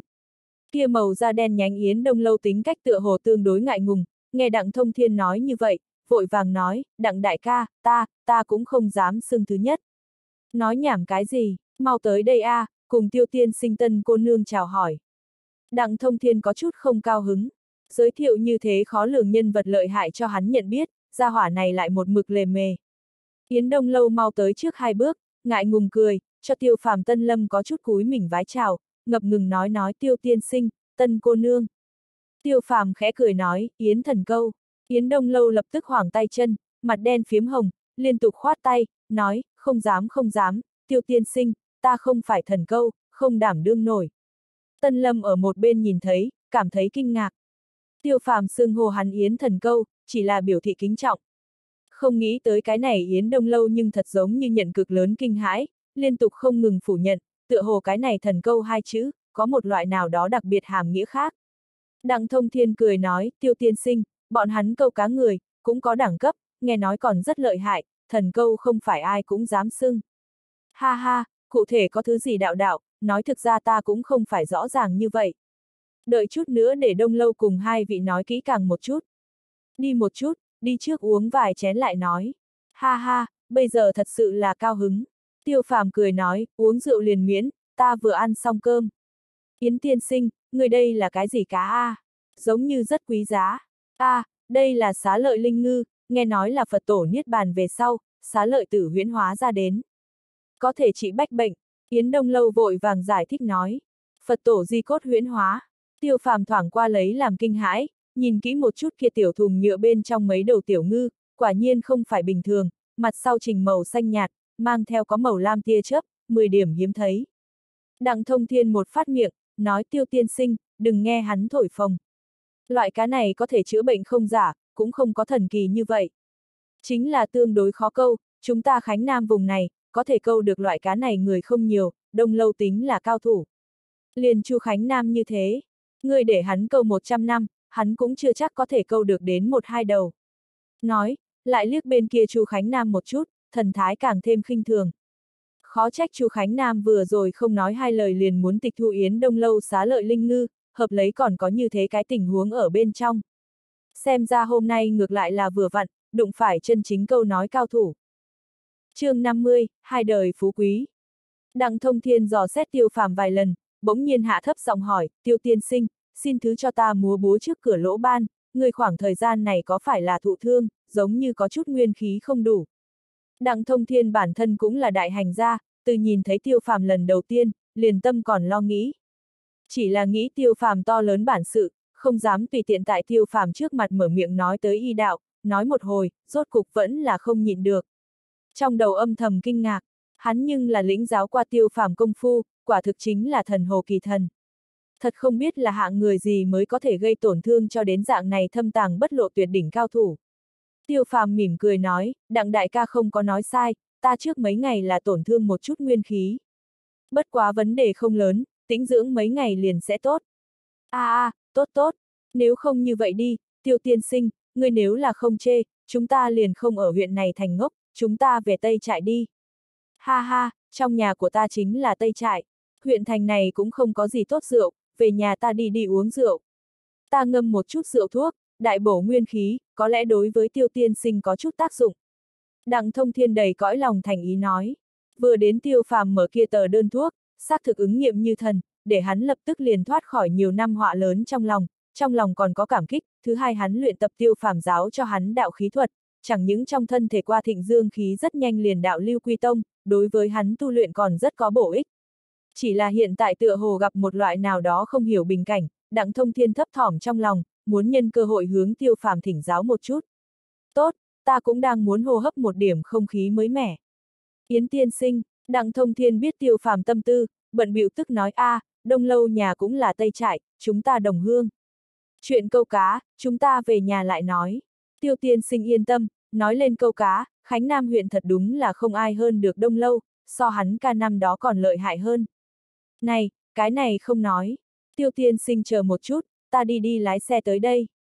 Được, tiêu phàm cười gật đầu. Chỉ chốc lát, đặng thông thiên liền mở một đài đời cũ 212 xe Jeep tới, hay là vải bạt trần xe cái chủng loại kia, nhìn qua rất nhiều năm rồi, so trước mấy ngày tiêu phàm mở đến Lý Gia Chuân đi bộ kia xe Jeep còn cũ kỹ hơn. Hắc hắc, tiêu tiên sinh, chúng ta nơi này núi nhiều, loại này kiểu cũ xe có tác dụng. Không có ý tứ A, ủy khuất hai vị. Đặng thông thiên đầu to lớn từ trong cửa sổ xe nhô ra đến, cười ha hả nói. Đặng đại ca khách khí, tiêu phàm không chút do dự, cùng Tân Lâm cùng tiến lên xe jeep ghế sau. Yến Đông Lâu lại là đem bảy đầu xá lợi linh ngư bán cho vừa rồi vị trung niên nam tử kia, cẩn thận cất kỹ 400 khối tiền, lên ngồi kế bên tay lái, thấp giọng nói, đặng đại ca, làm phiền ngươi đi phía trước công ty tổng hợp một chuyến, ta mua chút bánh kẹo trở về, ngươi biết, anh ta cùng mẹ ta đều thích ăn đường. Nghe vào, Yến Đông Lâu đối mẫu thân hắn cùng ca ca tình cảm phi thường thâm hậu. Đặng thông thiên vung tay lên, nói, đi cái gì công ty tổng hợp. Ta đã sớm mua cho ngươi tốt, đặt tại phía sau đuôi trong dương đâu. Một bao lớn, đủ cửu thẩm cùng Tây Lâu ăn một trận. Yến Đông Lâu không khỏi chố mắt một chút, nói cái này làm sao có ý tứ. Mỗi lần đều muốn ngươi tốn kém. Đặng đại ca, hết thảy bao nhiêu tiền, ta, ta cho ngươi tiền đi. Đặng thông thiên lập tức trừng lên nghiêu nhãn, rất không cao hứng nói, đưa tiền. Ngươi rất có tiền a, à, cùng ta so nhiều tiền. Yến Đông Lâu đối đặng thông thiên tựa hồ lại kính vừa sợ, thấy đặng thông thiên không vui, lập tức liền rụt cổ một cái, không dám lên tiếng. Tiêu phàm liền cười, căn cứ tình huống đến phân tích, đặng thông thiên khả năng thật rất có tiền. Hắn lần trước đưa đến Khánh Nguyên khách sạn giao dịch phương kia hỏa nham noãn ngọc, cứ việc ẩn chứa dương khí trên cơ bản bị ô dương mộc hút khô, chỉ còn lại có một hai thành, lĩnh nam dược liệu thương vương trí cương, hay là cho hắn ra 50.000 giá cả. Tiêu phàm đổi cho hắn kia mầm ngũ phẩm lá dã sơn sâm, càng là giá trị 250.000. Đặng thông thiên không phải lần đầu đi Khánh Nguyên thành giao dịch, nếu như mỗi lần dẫn đi dược liệu đều có thể mua cái tương tự giá tiền, Đặng Thông Thiên nói ít cũng có một triệu gia tài. Tại cái này vắng vẻ dân tộc tự trị huyện, Đặng Thông Thiên có thể coi là phải là cái thổ tài chủ. Đặng Thông Thiên dưới chân đạp cần ga, xe jeep khẽ run lên, bình ổn trượt ra ngoài. Xe này nhìn qua cũ kỹ không chịu nổi, ai ngờ một mở lại phi thường bình ổn, động cơ thanh âm cũng không ầm ầm nhao nhao người, rõ ràng là cải tiến qua. Tiêu phàm cười nói, đặng đại ca, xe này hoa ngươi không ít tiền a. À. Đặng thông thiên cười ha ha một tiếng, nói cũng không thế nào dùng tiền, là ta một người bạn cho miễn phí cải tiến. a à, bằng hữu của ta là dặm một cái xa hành lão bản, là cái lão thấp khớp, ta cho hắn chỉ cái bảy tám phần, hắn liền cho ta cải tiến đài này xe. Tiêu phàm không khỏi bật cười, liền cái này, còn gọi miễn phí a. À. Bất quá đặng thông thiên là cái hào sảng hán tử, đã đem cái kia xe hành lão bản làm bằng hữu, đoán chừng liền không có cùng hắn tính qua cái gì mảnh sổ sách. Đặng thông thiên rất có cổ đại giang hồ hào hiệp vận vị cùng ý cảnh. Vượt quá tiêu phàm ngoài ý liệu sự tình, tiến về tây trại đường núi cũng không gập ghềnh, rất bằng phẳng đường xi măng, mặc dù hẹp một chút, đường xá rất tốt. Yến Đông Lâu liền giải thích nói, tiêu tiên sinh, con đường này là đặng đại ca bỏ tiền tu. Những năm này, đặng đại ca vẫn luôn tại sửa cầu sửa đường, còn cho trại bên trong xây trường học, mời lão sư, đều là đặng đại ca tư nhân bỏ tiền. Tiêu phàm lập tức nổi lòng tôn kính. Khó trách đặng thông thiên thường xuyên đi Khánh Nguyên khách sạn tham gia giao dịch hội, tiền kiếm được đều tiêu vào tạo phúc quê cha đất tổ phía trên. Đặng thông thiên khoát tay chặn lại, lớn tiếng nói khục, nói những thứ này làm gì. Ta lão đặng không lo ăn không lo mặc, liền một thằng nhãi con, đều đã đi bên ngoài thế gian phồn hoa làm việc đi, muốn nhiều tiền như vậy có làm được cái gì. Kiếm tiền liền phải làm cho tốt sự tình, tích âm nức tu âm công. Không nói cầu cái gì kiếp sau, tối thiểu cầu cái an tâm. Tiêu phàm chính trọng nói, đặng đại ca, mặc kệ ngươi tin hay không kiếp sau, ta nhìn tướng mệnh của ngươi, hai đời phú quý khẳng định có. Bình thường thầy tướng, chỉ tướng kiếp này, không tính ra thế. Luân hồi mà nói, quá mức mờ mịt, phổ thông tướng người, ai cũng không có thâm hậu như vậy tạo nghệ. Nhưng tiêu phàm tu tập vô cực chín tướng thiên, luân hồi thiên lại cực khác bình thường, tướng chính là luân hồi. Khám phá luân hồi, mới có thể đặt chân thiên nhân cảnh, tướng thế gian vạn vật. Đặng thông thiên giật nảy cả mình, nói tiêu tiên sinh, người còn có thể xem tướng. Tiêu phàm mỉm cười, nói, sơ thông ra mau. Tân lâm liền bĩu môi, cái này cũng khiêm tốn quá mức đầu. Nếu như vô cực môn đời thứ 64 trưởng giáo chân nhân tại tướng thuật chi đạo vẫn chỉ là sơ thông ra mau, đưa mắt thiên hạ, lại vô tướng sĩ. Ha ha, không dối gạt tiêu tiên sinh nói, ta lão đẳng cũng tin tưởng mệnh. Vạn vật đều mệnh, vạn vật đều pháp, mặc dù ta cũng không thèm khát vinh hoa phú quý, chỉ cầu cái an tâm. Bất quá muốn thật có hai đời phú quý, đó cũng là đại hảo sự, ha ha. Đặng thông thiên cởi mở tiếng cười, tại sơn giã trong rừng xa xa truyền ra ngoài, dưới chân đạp cần ga, xe jeep cơ hồ muốn bay lên, tại trên sơn đạo phi nhanh hướng về phía trước. Tây trại cách Khánh Nam huyện thành không tính quá xa, ước chừng chính là 15-6 km dáng vẻ, tu tại giữa sườn núi một chỗ trại. Có mới xây lớn phòng ngói, cũng có cổ lão nhà gỗ cùng nhà sàn, gà gáy chó sủa, điềm tĩnh bình yên, tựa như thế ngoại đào nguyên. Đặng Thông Thiên giới thiệu nói, Tây trại ước chừng có 4-50 gia đình, dòng họ rất tạp, có 7-8 cái khác biệt dòng họ thôn dân cư trú ở đây. Trước giải phóng, Khánh Nam vốn là mầm giao hán đồng sống hỗn tạp man di chi địa, có người địa phương, cũng có rất nhiều vì tránh né chiến loạn trốn đến nơi đây người bên ngoài.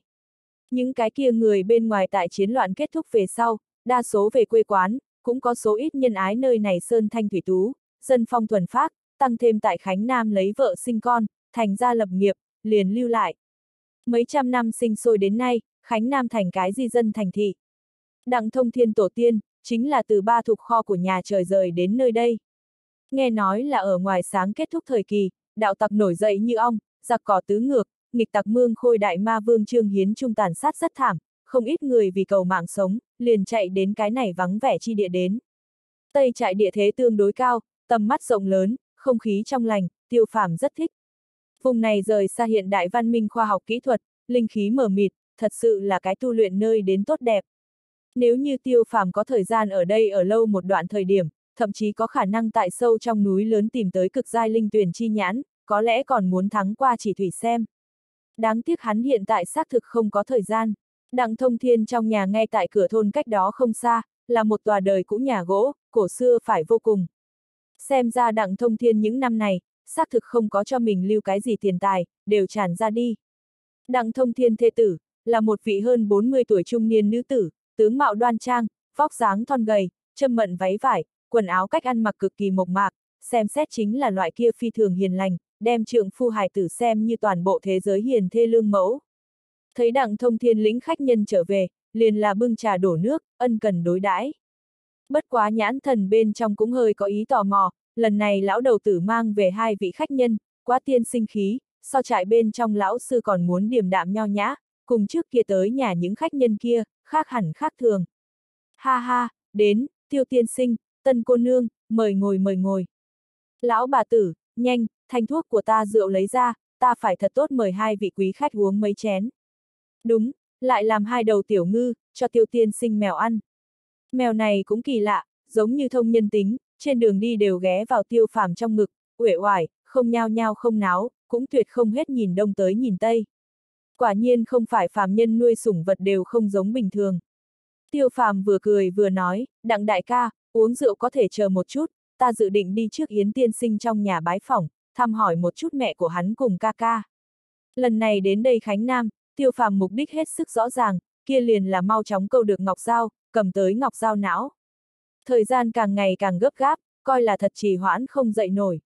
Cũng tốt, hết thảy đều nghe tiêu tiên sinh an bài. Uống rượu đợi buổi tối lúc ăn cơm lại uống cũng được. Đi, đông lâu, đi nhà ngươi. Đúng, người đi đuôi xe dương thành bánh kẹo lấy ra. Đặng thông thiên hạ quyết tâm, duy tiêu phàm như thiên lôi sai đâu đánh đó, lần này vô luận như thế nào đều muốn cho tiêu phàm giúp đỡ chuyện này. Hắn mặc dù võ công cao cường, câu cá lại không thông thạo. Việc này, còn phải rơi vào tại Yến Đông Lâu trên thân. chương 51, văn tên điên người điên vì võ. Yến Đông Lâu nhà tại trại phía sau núi chỗ, bốn gian lớn phòng ngói, một cái tiểu viện rơi, xa xa nhìn qua còn có tám thành mới dáng vẻ. Yến Đông Lâu đối tiêu phàm nói, tiêu tiên sinh, phòng này là đặng đại ca cho nhà chúng ta xây. Đặng thông thiên khoát tay chặn lại, nói, Đông Lâu, không nói cái này, năm đó ta và ngươi ca, đó là cái gì giao tình. Hắn còn từng cứu mạng của ta đâu. Tân Lâm hỏi, Yến tiên sinh ca ca là làm cái gì? Hái thuốc, cũng thích câu cá, đông lâu hay là cùng hắn ca nhập cửa. Đều nói sư phụ dẫn vào cửa tu hành tại cá nhân, đông lâu hiện tại thế nhưng là chúng ta khánh nam câu vương. Yến đông lâu ngay cả vội khoát tay, nói, đặng đại ca, câu vương không dám nhận, ô gà trại hướng lão, kinh nghiệm so ta phong phú nhiều. Nghe ý tứ trong lời nói này, đối hướng lão không phải bình thường tôn sùng. Này, hướng lão đầu bao lâu không có lộ mặt qua rồi. Sớm mấy năm là lợi hại, hiện tại nha. Già bảy, 80 tuổi người, không tính. Yến Đông Lâu liền cười. Đặng đại ca chính là như vậy, nói cái gì chính là cái đó, không thích người khác cùng hắn chống đối. Một đoàn người hướng về tiểu viện đi qua, lại chỉ thấy trong viện giàn cây nho dưới, ngồi một người, ngơ ngác nhìn qua xa xa dãy núi, thần sắc ngốc trệ, miệng bên trong tự lẩm bẩm, cũng không biết đang nói cái gì. Đây là một cái nam nhân, nhìn bên ngoài đồng hồ, hẳn là chừng 40 tuổi, có lẽ không đến, tóc hơi dài, khoác đến trên bờ vai, cực kỳ thon gầy, mặc phổ thông nông ra vải dệt thủ công quần áo, lại là sạch sẽ. Đoàn người vào cửa, nam tử này nửa điểm phản ứng đều không có, tiếp tục duy trì lấy tư thế cũ, cũng không biết hắn ở đây ngồi bao lâu. Ca, Yến Đông Lâu lập tức đi qua, gọi một tiếng. Nam tử không phản ứng chút nào. Ca, ăn kẹo, đặng đại ca mua, Yến Đông Lâu liền mang theo giọng nghẹn ngào, tăng cường từ trong túi nhựa lấy ra một cái sữa đường, lột ra đến, cẩn thận đưa tới thon gầy nam tử bên miệng. Nhìn ra được, Yến Đông Lâu tính cách yếu nhược, dễ dàng có cảm tình. Thon gầy nam tử hé miệng đến, đem đường ngậm vào, chậm rãi nhai nuốt lấy, vẫn như cũ không nói lời nào, cũng không nhìn Yến Đông Lâu một chút. Đặng thông thiên liền thở dài, nói, đây chính là Đông Lâu ca ca Tây Lâu, Yến Tây Lâu. Lúc tuổi còn trẻ tiết, là chúng ta Tây trại đẹp mắt nhất tiểu hòa tử, hái thuốc càng là một tay hảo thủ, trèo đèo lội suối như dẫm trên đất bằng, người khác đi địa phương mà không đến được, hắn đều có thể đi. Ngay cả ta cũng không sánh nổi hắn. Thế nhưng là 10 năm trước, một lần hái thuốc trở về, không bao lâu liền biến thành dạng này, mỗi ngày quang ngẩn người, cùng ai đều không nói lời nào, chính là miệng bên trong niệm niệm lại nhải, ai cũng nghe không rõ ràng hắn nói cái gì, cũng không biết chuyện gì xảy ra. Khục, nói không ngừng lắc đầu, quan sát tỉ mỉ Yến Tây Lâu, chắc chắn như đặng thông thiên lời nói, bộ mặt hình dáng rõ ràng, ngũ quan cực kỳ đoan chính, dù coi như hiện tại nhìn qua, cũng là Mỹ Nam tử, chính là gầy vô cùng, thần sắc ngốc trệ, nhìn đến làm lòng người chua. Tân Lâm hỏi, không có dẫn hắn đi chữa bệnh sao? Đặng thông thiên lắc đầu, nói kéo không nhúc nhích hắn. Tân cô nương, người không biết, Tây Lâu khí lực lớn cực kỳ, đừng bảo là người bình thường kéo không nhúc nhích hắn, liền xem như ta cũng kéo không nhúc nhích hắn. Tân Lâm lấy làm kinh hãi. Đặng thông thiên bản sự, Tân Lâm cũng là biết đến, mặc dù một chiêu liền bị tiêu phàm chế trụ, nhưng tiêu phàm tuyệt đối không thể làm vật tham chiếu. Thời thế hiện nay, có mấy người có thể cùng vô cực môn đương đại trưởng giáo chân nhân động thủ so chiêu. Đặng thông thiên tu tập cát đỏ trưởng, cứ việc còn không thể xem như đứng đầu nhất bên ngoài môn võ công, nhưng cũng cương mãnh dị thường, bá đạo phi phàm. Yến Tây Lâu nhìn qua thể trọng vẫn chưa tới 100 cân, thế mà ngay cả đặng thông thiên đều kéo không nhúc nhích hắn. Hắn luyện qua võ thuật, đặng thông thiên nhíu mày một hồi, nói, luyện qua, chúng ta trại bên trong rất nhiều người đều hiểu được võ thuật. Nam tử trẻ tuổi, đại đa số đều luyện qua mấy năm kỹ năng, đều là lão tổ tông truyền thừa, chủ yếu là vì cường thân kiện thể, chân chính chịu chịu khổ cực càng ngày càng ít, dù sao thời đại đã biến. Yến Đông Lâu ngắt lời nói, tân cô nương, đặng đại ca là chúng ta tây trại cao thủ lợi hại nhất, 10 người cũng đánh không lại hắn. Đặng thông thiên mặt mo đỏ ửng, liếc tiêu phàm một chút, vội vàng nói, Đông Lâu, chớ nói nhảm, ta tính cao thủ gì. Để quý khách trò cười. Nói thật, đặng thông thiên đối tiêu phàm cảm kích thì cảm kích, nhưng cũng quả thực nghĩ mãi mà không rõ, tiêu phàm niên kỳ, nhiều nhất cũng chính là 27-28 tuổi, sao liền luyện thành cao siêu như vậy thân thủ. Dù coi như không phải vô địch thiên hạ, nghĩ đến có thể cùng hắn lực lượng ngang nhau đối thủ cũng sẽ không quá nhiều. Chí ít tại đặng thông thiên trong mắt là như vậy. Tiêu phàm mỉm cười nói, đặng đại ca không cần khiêm tốn, cát đỏ trưởng uy mãnh bá đạo, ngoại ra võ công bên trong, rất khó có địch thủ. Coi như không phải một cùng thứ nhất, cũng là hai thứ bậc một. Đặng thông thiên là cái cởi mở người, nghe vậy cười ha hả nói, có thể được tiêu tiên sinh như thế khen một câu, ta lão đẳng trên mặt nhưng có hào quang. Đến, tiêu tiên sinh, tân cô nương, trong phòng ngồi. Cửu thẩm, cửu thẩm, khách tới người, quý khách. Một vị ngoài 60 tuổi lão phụ nhân nghe vậy đi ra cửa, cũng là 10 điểm thon gầy, khuôn mặt hiền lành, sắc mặt hơi chỉnh xám xanh, bước chân có chút phủ phiếm, cho thấy phải có bệnh mang theo. Nhìn thấy đặng thông thiên, lập tức lộ ra tiếu dung. Là thông thiên đến rồi, còn có khách quý, xin mời vào trong nhà ngồi. Tiêu phàm cung kính nói, cửu thẩm, ngài tốt, đặng đại ca, ta nhìn trong viện tử này rất rộng rãi, muốn chẳng phải trong sân ngồi một chút đi. Đi gấp, cũng không mang lễ vật gì, thật sự là không có ý tứ. Đặng thông thiên nói gấp, tiêu tiên sinh nói chuyện này, ngươi là ta đặng mộ ân nhân. Hôm nay có thể tới cái này trại bên trong đến ngồi một chút, chính là thiên đại mặt mũi. Dạng này quý khách, chúng ta bình thường liền dùng tám nhất đại kiệu đi mời, cũng không mời được a. À. Đông lâu, nhanh, chuyển cái ghế ra, chúng ta liền trong sân ngồi nói chuyện. Ai, Yến Đông lâu đáp ứng một tiếng, chạy vào nhà bên trong, tay chân lưu loát chuyển mấy cái ghế trúc tử ra, trong sân một chương bàn gỗ nhỏ bên cạnh dọn xong, đoán chừng cái này bàn gỗ nhỏ là toàn gia bình thường ăn cơm dùng. Cửu thẩm tự mình đầu chút hạt dưa đậu phộng cùng một loại màu đỏ sậm hoa quả khô ra, đoán chừng cũng là trên núi hái. Ngoài ra còn có một đĩa nhỏ từ tịch chế cá khô, sắc chạch kim hoàng, tịch hương xông vào mũi. Hắc lân một đôi lục oánh oánh mắt mèo lập tức liền trợn tròn. Đặng thông thiên cười nói, tiêu tiên sinh, người con mèo này còn rất biết hàng. Đây là đông ôm vào ô gà núi trong đầm sâu câu đại bạc cá, cửu thẩm tự mình tịch ra, hương vị đặc biệt tươi ngon, còn có thể bổ khí an thần. Tân lâm bĩu môi, nói, nó nha, miệng nhưng điêu, dễ hỏng cực kỳ. Nói, nhặt lên một khối tịch cá, đưa tới Hắc Lân bên miệng, Hắc Lân liếc nàng một cái, rất ngạo khí hé miệng cắn, lập tức xoay người sang chỗ khác, ăn liên tục. Đây cũng là Hắc Lân thói quen, bình thường không làm người mặt ăn cái gì, thận trọng cực kỳ. Cửu thẩm trải bày qua hưởng khách quà vặt, lại từ từ hướng trong phòng đi đến, cũng không người tiếp khách. Đặng thông thiên bận bịu giải thích nói, tiêu tiên sinh, đây là chúng ta trên núi quy củ, nữ nhân không lên bàn. Tân lâm nhẹ hừ một tiếng, hiển nhiên đối quy củ như vậy xem thường. Thất diệu cung lấy nữ vi tôn, hạch tâm đệ tử cơ hồ tất cả đều là nữ tính, nam đệ tử rất ít, mà lại đều đều là ngoại môn đệ tử, chân chạy làm việc vặt. Rất ít có nam đệ tử có thể có được thất diệu cung chân chính bảy đại tuyệt kỳ truyền thừa. Đặng thông thiên liền cảm thấy xấu hổ, vội vàng nói, tân cô nương, đây chỉ là trên núi mấy trăm năm quy củ, mọi người quen thuộc, cũng không ai muốn đi đổi. Cũng không phải đối ngươi tới, ngươi là quý khách, tân lâm gật gật đầu, tỏ ra là đã hiểu, nói, bình thường chính là Yến Đông Lâu chiếu cố cửu thẩm cùng hắn ca ca sao. Đặng Thông Thiên nói, cửu thẩm có thở hổn hển bệnh cũ, thân thể tương đối suy yếu, bất quá việc nhà vẫn có thể làm, bình thường Đông Lâu câu điểm cá đi bán đi, dựa vào cái này sinh hoạt.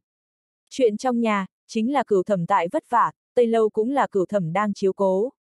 May mắn Tây Lâu không nhao nhao không náo, cho hắn ăn ăn cơm cũng sẽ ăn. Bằng không, thời gian này càng thêm khổ sở. Yến Đông Lâu liền nói, đúng vậy a, à, tất cả mọi người nói, may mắn anh ta là văn tên điên không phải người điên vì võ, không phải mẹ ta liền muốn mệt chết. Tiêu phàm mỉm cười, nói, như thế, lệnh huynh nếu như là người điên vì võ, không chỉ có riêng là các ngươi một nhà phiền phức, chỉ sợ các ngươi toàn bộ trại cũng phiền phức không tiểu. Đặng thông thiên lấy làm kinh hãi, bận biểu tức hỏi, tiêu tiên sinh, người đây ý là. Tiêu phàm nhẹ nhàng lắc đầu, nói ta không có ý tứ gì khác. Đông lâu, mời cửu thẩm ra cùng một chỗ ngồi một chút đi, ta cho nàng lão nhân ra tay cầm mạch.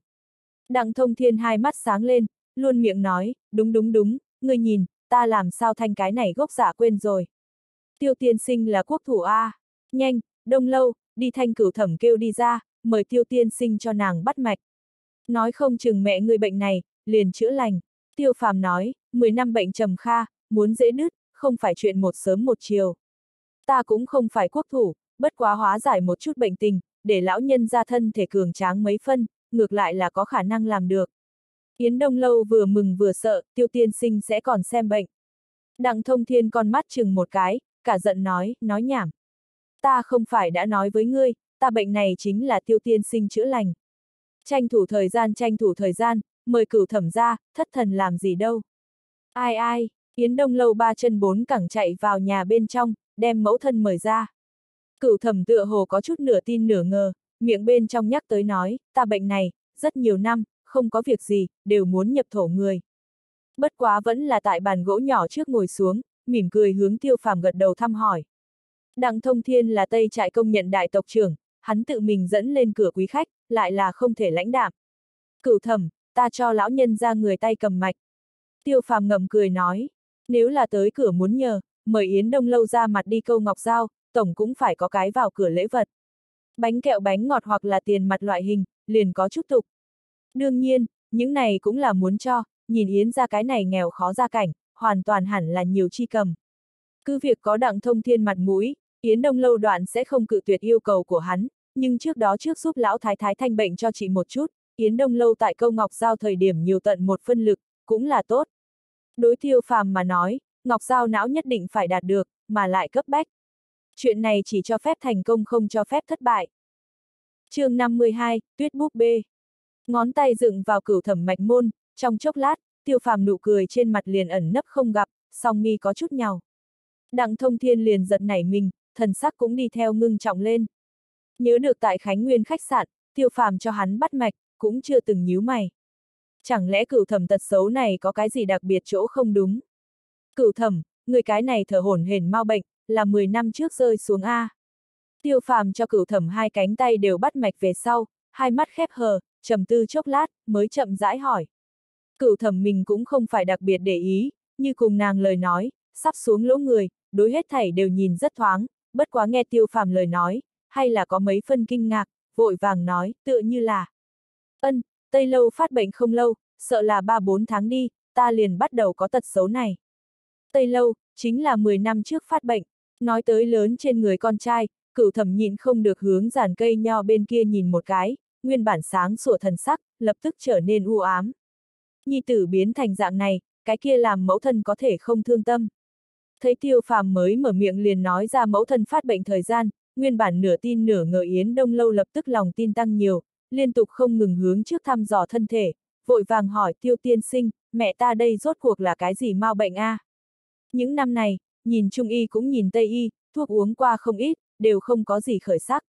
Một hồi nói là hàn độc, một hồi còn nói là chứng nhiệt, muốn không liền nói là bệnh gì khuẩn lây nhiễm, ta đều bị bọn hắn làm hồ đồ. Thần sắc có chút hận hận, tiêu phàm không đáp, chuyển hướng đặng thông thiên, hỏi, đặng đại ca, người cho cửu thẩm bắt mạch sao? Đặng thông thiên gật gật đầu, nói thử qua, không dối gạt tiêu tiên sinh nói, ta cũng cảm thấy cửu thẩm là hàn chứng, chỉ là cái này hàn chứng có chút cổ quái, ta cũng không nắm chắc được, chỉ có thể mở điểm điều dưỡng thuốc. Là hàn chứng, Từ cửu thẩm mạch tượng cùng phát bệnh triệu chứng đến xem, đúng là hàn chứng. Bất quá cái này hàn chứng, hẳn là từ bệnh khuẩn lây nhiễm đưa tới, Tây y lời nói cũng không sai. Mấu chốt bệnh này khuẩn là có chút cổ quái. Đặng đại ca, các ngươi nơi này, có chướng khí sao? Chướng khí, đặng thông thiên biến sắc, tiêu tiên sinh, người nói cửu thẩm bệnh này, là chướng khí đưa tới. Tiêu phàm cười mà không nói. Đặng thông thiên trầm ngâm nói, tiêu tiên sinh, đừng nhìn ta nhóm nơi này núi nhiều, địa phương cũng vắng vẻ. Chướng khí vật này, cũng là không phổ biến. Trong núi sâu là có, ta đi hái thuốc thời điểm, cũng đụng phải. Bất quá cửu thẩm chưa từng có từng đi xa nhà, càng chưa từng đi sâu trong núi lớn, làm sao có thể nhiễm lên chướng khí đâu. Tiêu phàm ánh mắt, từ bên kia yến tây lâu trên thân lướt qua, nói, hiện tại ta cũng không thể 100% khẳng định đây là chướng khí, chỉ là có 6-7 phần tương tự. Đặng đại ca, chướng khí vật này, có phải là đả thương người, cũng cùng người thể chất có quan hệ. Chướng khí phần lớn tính hàn, người luyện cát đỏ trưởng, là dương cương 10 phần ngoại gia công phu, tăng thêm trước kia, bên cạnh ngươi mang theo ô dương mộc, trên cơ bản tất cả âm độc đều đối với ngươi không đúng bất cứ tác dụng gì. Cửu thẩm không giống, thể chất của nàng cùng ngươi hoàn toàn không có cách nào đánh đồng. Đặng thông thiên liên tục gật đầu, tiêu phàm nói liền cùng tận mắt nhìn thấy.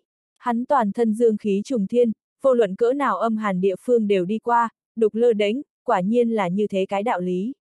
Yến Đông Lâu vội vã nói, tiêu tiên sinh, người nếu biết nguyên nhân bệnh, vậy nhất định có biện pháp chữa khỏi mẹ ta, đúng hay không?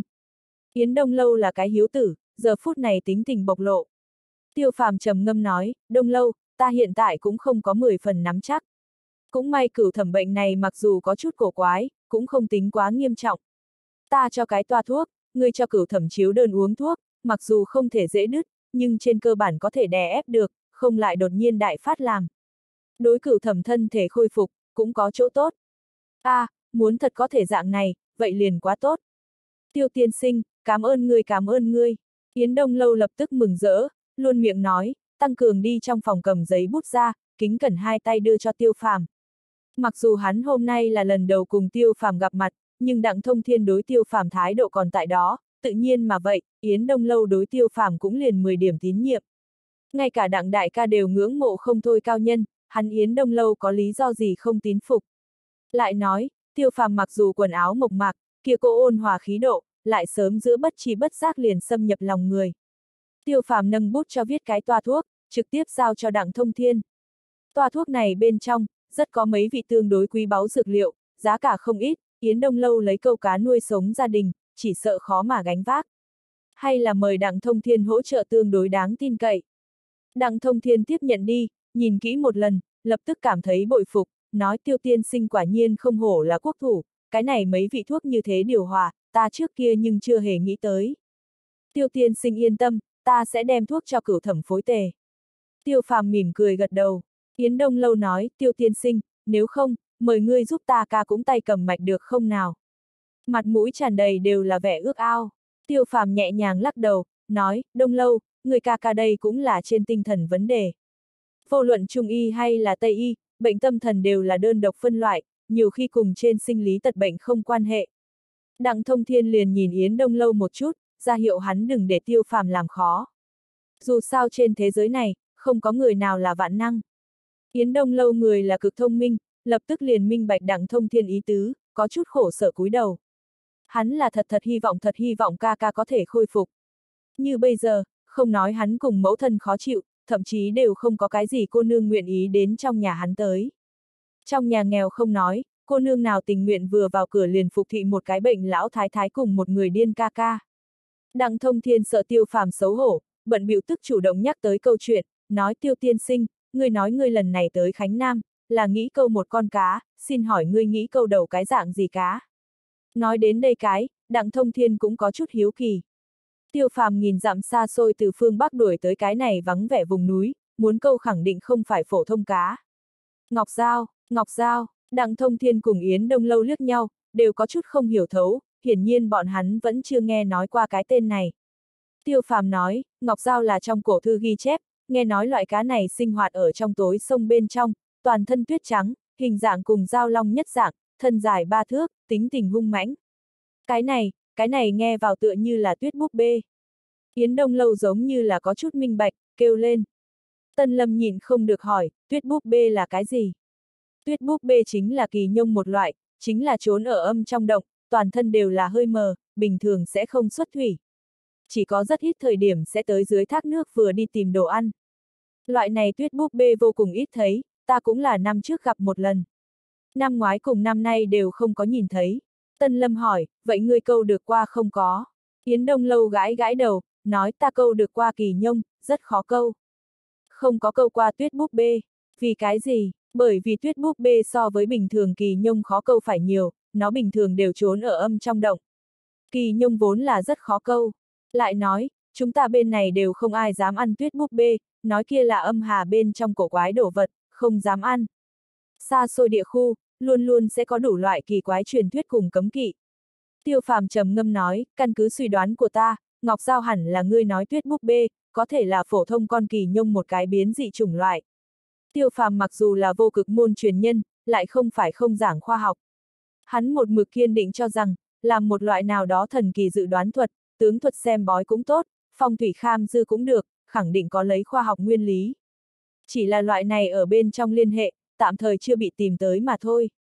Có quan hệ ngọc giao não công hiệu, trên thực tế cùng phổ thông con kỳ nhông dược dụng giá chỉ có thật nhiều chỗ tương thông. Bởi vì ngọc giao sinh hoạt dưới đất trong nước, thụ ô nhiễm càng ít, săn mồi con mồi cũng phần lớn là sông ngầm bên trong loài cá cùng ếch loại, dựa theo đạo gia thuyết pháp, là hấp thu càng nhiều nguyên âm chi khí. Luyện chế càn khôn đại hoàn đan, giảng cứu âm dương điều hòa, ô dương mộc là trí dương chi vật, ngọc giao não tính được là trí âm chi vật. Tân lâm đôi mi thanh tú cao lại, hỏi, người trước kia không có câu qua tuyết búp bê, có nắm chắc không? Yến Đông Lâu liền trần chờ. Hắn là cái thành thật người, trước kia không có câu qua tuyết búp bê, cũng không dám thanh lời nói được quá vẹn toàn. Huống hồ tuyết búp bê xác thực dị thường khó câu, Yến Đông Lâu bởi vì muốn kiểm nghiệm một chút mình câu thuật, đã từng câu qua tuyết búp bê. Lúc đầu đã mắc câu, cuối cùng lại bị tuyết búp bê cắn nứt dây câu, thất bại trong gang tấc. Nói thật, tiêu tiên sinh, tân cô nương, ta cũng không có chút tự tin nào. Như vậy đi, ta ngày mai đi ô gà trại nhìn một chút hướng lão, nhìn lão nhân ra ông ta có phải là nguyện ý rời núi, nếu có hắn tự thân xuất mã, kia ắt có niềm tin phải nhiều. Chốc lát, Yến Đông Lâu Thành khẩn nói, nghe, vị này hướng giả trình độ, còn ở trên hắn. Tốt, vậy chúng ta ngày mai cùng đi bái phỏng hướng lão. Tiêu phàm gật đầu duẫn khả, cái này tuyết búp bê đã như vậy khó câu, nhiều một vị cao thủ xuất mã, luôn luôn tương đối bảo hiểm chút. Lập tức lại trò chuyện một chút những lời khác ngữ, sắc trời dần muộn, Đặng Thông Thiên mời mọi người cùng đi trong nhà hắn ăn cơm chiều, đem hắn chân tàng rượu thuốc đem ra, mời tiêu phàm nhấm nháp. Loại này dược rượu ngâm rất nhiều mầm có thảo dược, đối với đại bổ nguyên khí xác thực rất có công hiệu, tiêu phàm uống không ít. Sau bữa ăn, Đặng Thông Thiên lại hướng tiêu phàm thỉnh giáo có quan hệ đạo khí thuật nghi nan, tiêu phàm cũng không bảo thủ, một đưa một cái hắn chỉ điểm minh bạch. Đặng Thông Thiên rộng mở trong sáng, lần nữa bái tạ, thái độ càng thêm kính cẩn. Đêm đó, tiêu phàm cùng Tân Lâm ngay tại Đặng Thông Thiên trong nhà an giấc, an bài một gian phòng. Tại Đặng Thông Thiên xem ra, cô nam quả nữ nghìn dặm đồng hành, tiêu tiên sinh cùng tân cô nương quan hệ, kia là rõ ràng. Tại chỉ thủy xem, tiêu phàm cùng Tân Lâm cũng là cùng phòng mà cư, từ cũng không có gì dị nghị. Cùng đặng thông thiên vợ chồng rời đi về sau, Tân Lâm đột nhiên hỏi, ngươi vì cái gì không cho Yến Tây Lâu bắt mạch? Tiêu phàm nhẹ nhàng lắc đầu, nói Yến Tây Lâu mạch, không phải dễ dàng như vậy thanh. Tân Lâm song nghi hơi dương, mang theo trưng cầu chi ý. Tiêu phàm lại không tiếp tục nói, tựa hồ có chút tâm sự. chương 53, đêm tối ma thần. Đặng thông thiên tuyệt đối sẽ không nghĩ đến, ở chung một phòng tiêu phàm cùng Tân Lâm, thế mà là riêng phần mình luyện công. Tiêu phàm tại giường cây bên trên ngồi xếp bằng xuống, hai tay bấm quyết, hô hấp rất nhanh trở nên bình ổn mà kéo dài, một hít một thở ở giữa, cơ bản không có rõ ràng giới tuyến. Tân Lâm thì tại phòng hai cái sừng bên trên kéo một đầu tinh tế dây đỏ, gót sen nhẹ nhàng điểm một cái, thân thể nhẹ nhàng bay lên, nằm tại dây đỏ phía trên, hai tay ôm ngực, dần dần điều hòa hô hấp. Kia dây đỏ nhiều nhất bất quá ngón út phẩm chất, lại mảy may không ngại. Trong nhà yên tĩnh, chỉ có thể nghe tới tân lâm nhỏ xíu nhịp tim thanh âm, về phần tiêu phàm, thậm chí ngay cả tiếng tim đập đều nghe không được. Đặng thông thiên đồng dạng tuyệt đối sẽ không nghĩ đến, lúc đêm khuya vắng người, một đầu bóng đen chậm rãi tới gần hắn nhà gỗ. Bóng đen kia cực kỳ gầy gò, yếu ớt dưới ánh trăng, bóng đen tóc thật dài tại lạnh thấu xương trong gió đêm bay múa phiêu dương, lộ ra nói không nên lời âm trầm khủng bố. Lấy đặng thông thiên chỉ có thể, vậy mà mảy may cũng chưa từng phát giác có gì dị dạng. Bóng đen dần dần đi tới nhà gỗ rào chắn bên ngoài, yên lặng đứng ở nơi đó, lại không có động tác khác. Yến đại ca, đêm khuya đến thăm, có gì chỉ giáo? Bỗng dưng, rào chắn một mặt xuất hiện khác một thân ảnh, nhẹ giọng hỏi, ngữ khí nhu hòa, không mang mảy may lệ khí. Chính là tiêu phàm, đứng tại rào chắn bên ngoài, tự nhiên là Yến Tây Lâu. Cách đó không xa, Tân Lâm Thanh Tú động lòng người lập ở trong màn đêm. Cứ việc ánh trăng cực kỳ u ám, nhưng tiêu phàm vẫn như cũ có thể nhìn ra được, Yến Tây Lâu thần sắc vẫn như cũ ngốc trệ, cùng ban ngày không hề khác gì nhau, đối tiêu phàm tra hỏi, cũng bừng tỉnh như không nghe thấy, phảng phất đang mộng du. Tiêu phàm song mi có chút một dương, vẻ kinh ngạc chi sắc từ trên mặt hắn lướt qua, tựa hồ đối với Yến Tây Lâu loại tình hình này cảm thấy kỳ quái. Yến đại ca, không ngại, ta cho ngươi tay cầm mạch, được chứ? Tiêu phàm chậm rãi đến gần, vẫn như cũ không chậm không nhanh nói. Yến Tây Lâu vẫn là không có bất kỳ phản ứng nào. Tiêu phàm đưa tay phải ra, chậm rãi hướng về phía trước nhô ra, thần sắc trước nay chưa từng có ngưng trọng, tay trái hoành ở trước ngực, ẩn ẩn bày ra phòng ngự tư thế. Một mực nhìn chăm chú lên bên này tình hình tân lâm, gương mặt xinh đẹp bên trên thoảng qua lộ ra vẻ mặt kinh ngạc. Nàng rất ít nhìn thấy tiêu phàm bày ra tư thế như vậy. Cứ việc tân lâm nhìn thấy tiêu phàm xuất thủ lần số không nhiều, nhưng dĩ vãng bất kỳ lần nào xuất thủ, tiêu phàm đều là dù bận vẫn ung dung, gió nhạt mây nhẹ. Yến Tây Lâu vẫn như cũ không hề có động tĩnh gì. Ngay tại tiêu phàm tay phải sắp chạm đến hắn mạch môn thời điểm, dị biến chợt hiện, Yến Tây Lâu bỗng nhiên liền động, dài nhỏ năm ngón tay, bỗng nhiên uốn lượn như câu, đối tiêu phàm ngả vào trước mặt bàn tay chẳng quan tâm, bỗng nhiên nâng lên cánh tay, nhanh như thiểm điện hướng tiêu phàm mặt bắt tới. Một cỗ nhỏ bé nhưng lại cực kỳ chói tai bén nhọn tiếng xé gió đột nhiên vang lên. Giữa hai bên, cách xa nhau bất quá một tay, ngắn như thế khoảng thời gian, Yến Tây Lâu vừa động thủ liền phát ra dạng này thê lương tiếng xé gió, có thể thấy được một chảo này kinh lực ra sao cùng mạnh mẽ, động tác ra sao cùng mau lẹ. Tân lâm hai con người bỗng nhiên bắt đầu híp mắt, lúc ban ngày, nàng cũng mơ hồ cảm giác được Yến Tây Lâu không phải cái phổ thông tên điên, tại hắn kia thon gầy đến cực điểm trong thân thể, tựa hồ ẩn giấu đi một loại nào đó bí mật không muốn người biết. Nhưng cũng không nghĩ tới, Yến Tây Lâu vậy mà người mang tuyệt kỹ, xuất thủ lăng lệ đến thế. Tân Lâm từ lấy, nếu như mình bỗng nhiên gặp được dạng này tấn mãnh công kích, lấy công đối công cố nhiên không là hoàn toàn làm không được, nhưng bảo đảm nhất cách đối phó là lập tức lui ra phía sau, tránh đi đối phương sắc bén lại cho phản kích. Bất quá Tân Lâm cũng biết, Tân Lâm là Tân Lâm, Tiêu Phàm là Tiêu Phàm. Đối Yến Tây lâu lăng lệ cực kỳ công kích, Tiêu Phàm tựa hồ đã sớm chuẩn bị, ngay tại trước giò xét tay phải cũng trong nháy mắt thay đổi góc độ, cũng chỉ như kích, trực chỉ Yến Tây lâu chỗ khuỷu tay huyệt khúc trì tốc độ cũng là cực nhanh vô so. Yến Tây lâu phát chiêu thời điểm, cánh tay khoảng cách tiêu phàm mặt còn cách một đoạn, tiêu phàm bàn tay cách cánh tay của hắn lại gần trong gang tấc, nếu như Yến Tây Lâu kiên trì bắt mặt của hắn, huyệt khúc chỉ tất nhiên sẽ trước bị tiêu phàm điểm trúng. Yến Tây Lâu không đợi chiêu thức dùng hết, nhàn dỗi đem hổ trào thu hồi lại, phản điêu tiêu phàm mạch môn, đồng thời một cỗ khác hùng hồn tiếng xé gió vang lên, Yến Tây Lâu tay phải cũng dương lên, cũng trưởng chém thẳng vào tiêu phàm ngực, thế đi lại không phải cực nhanh, tương đối hắn tay trái nhanh làm cho người khác động tác hoa cả mắt, tay phải một trường này liền lộ ra quá chậm, nhưng mà trên lòng bàn tay phát ra kinh lực, lại khiến đứng tại mấy bước bên ngoài tân lâm đều có thể rõ ràng cảm giác được. Ẩn ẩn có âm thanh sấm sét, ngũ lôi trưởng, tân lâm thở nhẹ ra âm thanh. Thất diệu cung là trên giang hồ môn phái thần bí nhất một trong, tân lâm làm thất diệu cung đương đại thánh nữ, lúc còn rất nhỏ, sư môn trưởng bối liền tại nàng luyện công nhàn hạ thời điểm, cùng nàng nói về qua giang hồ bên trên các đại môn phái chuyện cũ cùng cao minh lợi hại võ thuật truyền thừa. Ngũ lôi trưởng chính ở trong đó. Nghe nói ngũ lôi trưởng là Tây Nam miêu cương một vùng độc môn võ công, truyền thừa cực kỳ lâu đời, âm dương gồm nhiều mặt, nội ngoại kiêm tu, một chiêu phát ra, phong vân đột biến, lôi minh chấn động, lấy trưởng lực hùng hồn danh chấn giang hồ. Mỗi một thời đại ngũ lôi trưởng dòng chính truyền nhân, không ra giang hồ thì đã, mới ra giang hồ, nhất định vang danh thiên hạ. Bất quá thất diệu cung trưởng bối cũng đã nói, từ dân quốc sơ kỳ, ngũ lôi trưởng liền đã tuyệt tích tại giang hồ.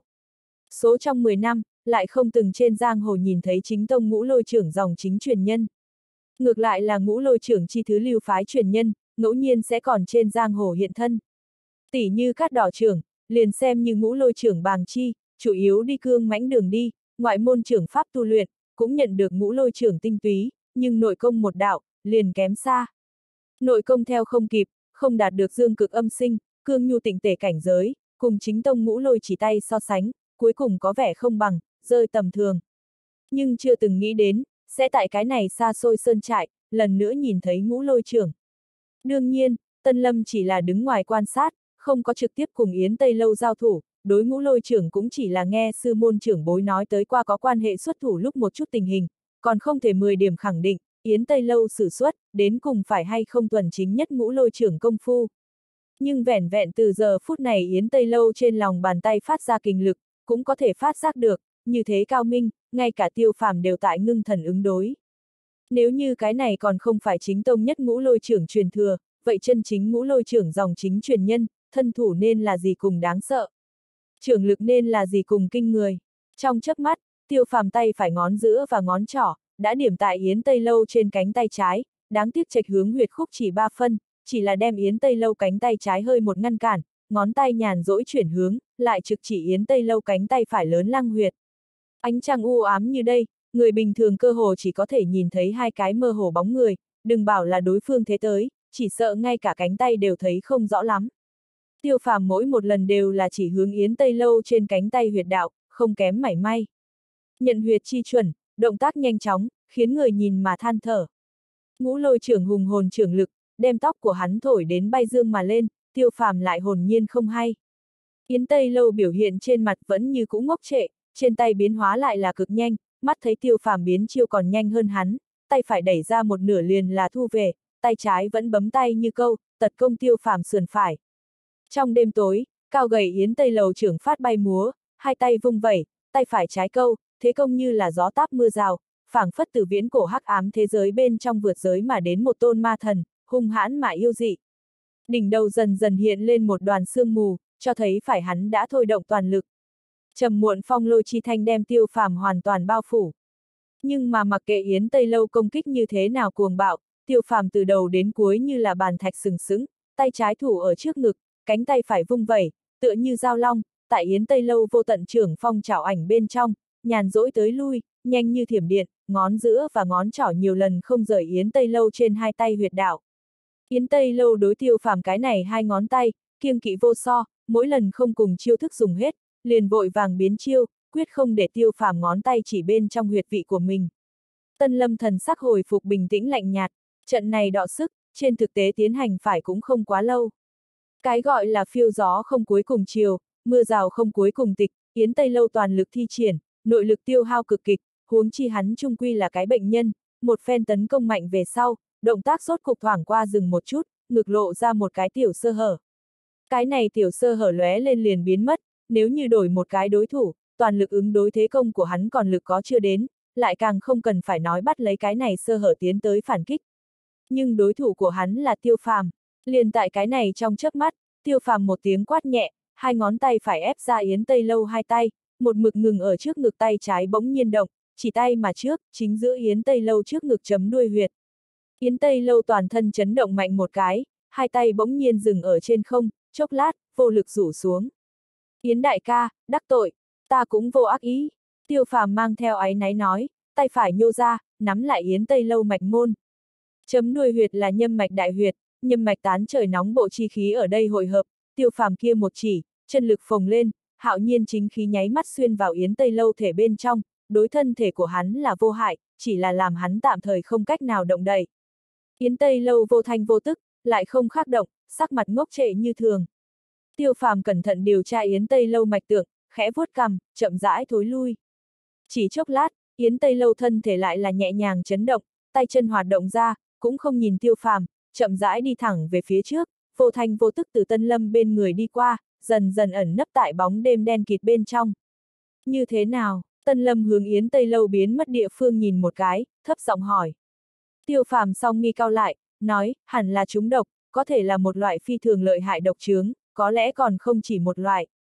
Cửu thẩm chính là chịu ảnh hưởng, cho nên mới nhiễm bệnh. Vậy tại sao Yến Đông Lâu không có bị truyền nhiễm? Tân Lâm hơi có không hiểu. Yến Tây Lâu võ nghệ cao cường, nội công tinh thâm, độc trướng bị hắn áp chế ở thể nội. Yến Đông Lâu so cửu thẩm trẻ tuổi, chính đang tráng niên thời kỳ, thân thể sức chống cự tương đối mạnh. Cửu thẩm trời trời chiếu cố Yến Tây Lâu sinh hoạt hàng ngày, tiếp xúc phải càng nhiều hơn một chút, năm lão thể nhược, khí huyết hai suy, bị truyền nhiễm rất bình thường. Tân Lâm nhẹ gật đầu, nghi ngờ nói, không biết hắn độc trướng ở nơi nào nhiễm, lợi hại như vậy. Có không có cách nào giúp hắn? Tiêu phàm trầm ngâm một lát, nói, biện pháp giải độc có lẽ tìm được, mấu chốt là chúng ta bây giờ không có thời gian. Tân Lâm im lặng, ngũ lôi trưởng thiên dưới tuyệt học, danh bất hư truyền. Tiêu phàm chậm rãi hướng nhà gỗ đi đến, nhẹ nhàng thở dài một cái. chương 54, Quái nhân quái sự. Ô gà trại ngay tại ô gà sơn nơi chân núi, bởi vì núi mà gọi tên. Xa xa nhìn lại, ô gà núi thật là có chút giống một con ngẩng đầu gáy minh gà trống lớn, chỉ là mãn sơn thương thúy, lại không biết vì sao lấy ô gà mệnh danh. Ô gà trại so sánh với tây trại, muốn xa xôi được nhiều, từ tây trại xuất phát, ước chừng còn có mười mấy cây em đường núi. Đó là chân chính đường núi, cát đá mặt đường, gồ ghề nhấp nhô, xa còn lâu mới có thể cùng huyện thành thông hướng tây trại đường xi măng mặt đánh đồng. May mà đặng thông thiên xe jeep động lực mạnh mẽ, địa bàn rất cao, đi cũng không phải quá phí sức. Trên đường đi chỉ ngẫu nhiên nhìn thấy máy kéo cùng nông dùng xe, đều là củi đốt dầu, đột đột đột mà bốc lên khói đen. Không khỏi cùng cái này non xanh nước biết ý cảnh đi ngược lại, có chút sát phong cảnh. Xe hơi nhỏ một bộ đều nhìn không thấy. Nhìn một chút mình chuẩn bị mấy xác quà tặng, Yến Đông Lâu vẫn có chút không tỏa sáng tâm, đối tiêu phàm nói, tiêu tiên sinh, hướng giả tính tình có chút cổ quái, cũng không biết có thể hay không mời được đến hắn. Vạn nhất nếu là hắn nói ra cái gì lời khó nghe đến, ngươi nhưng đừng nên trách. Đặng thông thiên khẽ nói, cái gì gọi là tính tình có chút cổ quái, quả thực chính là hầm cầu bên trong tảng đá vừa thúi vừa cứng. Cái này hướng lão đầu, già bảy, 80 tuổi, tính tình nhưng thúi như vậy. Hắn nếu thật dám đối tiêu tiên sinh vô lễ, nhìn ta không mắng hắn cẩu huyết lâm đầu. Yến Đông Lâu đành phải cười khổ. Đặng đại ca ngược lại là thật có tư cách nói loại lời này. Cái này mười dặm tám hương, ai chưa nghe nói qua đặng thông thiên đại danh đỉnh đỉnh, ngay cả trong huyện lương chủ tịch huyện nhiễm bệnh, đều muốn đích thân mời hắn đi nhìn. Cái kia Chu Khánh Nam, ngày bình thường tại thị trường diễu võ dương oai, không ai bì nổi, tại đặng đại ca trước mặt, cái dám cũng không dám thả một cái. Tiêu phàm cười nói, đặng đại ca, chúng ta là đi cầu người, mắng chửi người liền không cần đi. Này, tiêu tiên sinh, người không biết, người này a chính là cổ quái, người càng khách khí với hắn, hắn càng là cảm thấy mình không tầm thường. Người mặc sắc hắn, hắn ngược lại liền không có ý nghĩa. Yên tâm, lần này vô luận như thế nào, ta đều muốn mời được này lão đầu tử. Đặng thông thiên đĩnh đạc nói. Tiêu phàm cười gật đầu, nói, đặng đại ca, có lẽ chúng ta hôm nay không nhất định có thể tại trại bên trong nhìn thấy hướng lão. Đặng thông thiên có chút kỳ quái mà hỏi thăm, vì cái gì? Sự cảm, đặng thông thiên liền có chút im lặng, hắn kính nể tiêu phàm võ công kiến thức, lại không có nghĩa là hắn sẽ tin tưởng cái gọi là dự cảm, đây cũng quá treo một điểm.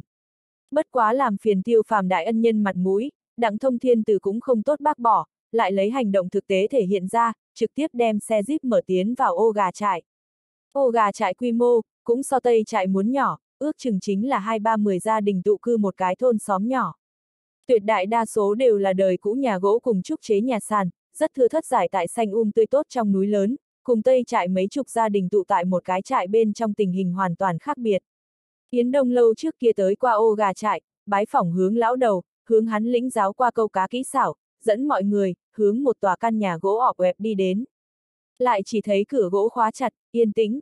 Yến Đông Lâu ngạc nhiên nói, đặng đại ca, hướng lão thật không ở nhà. Đặng thông thiên liền gãi gãi đầu. Thật đúng là để tiêu phàm dự cảm đúng rồi. Đông Lâu, người tranh thủ thời gian hỏi một chút, nhìn hắn đi nơi nào.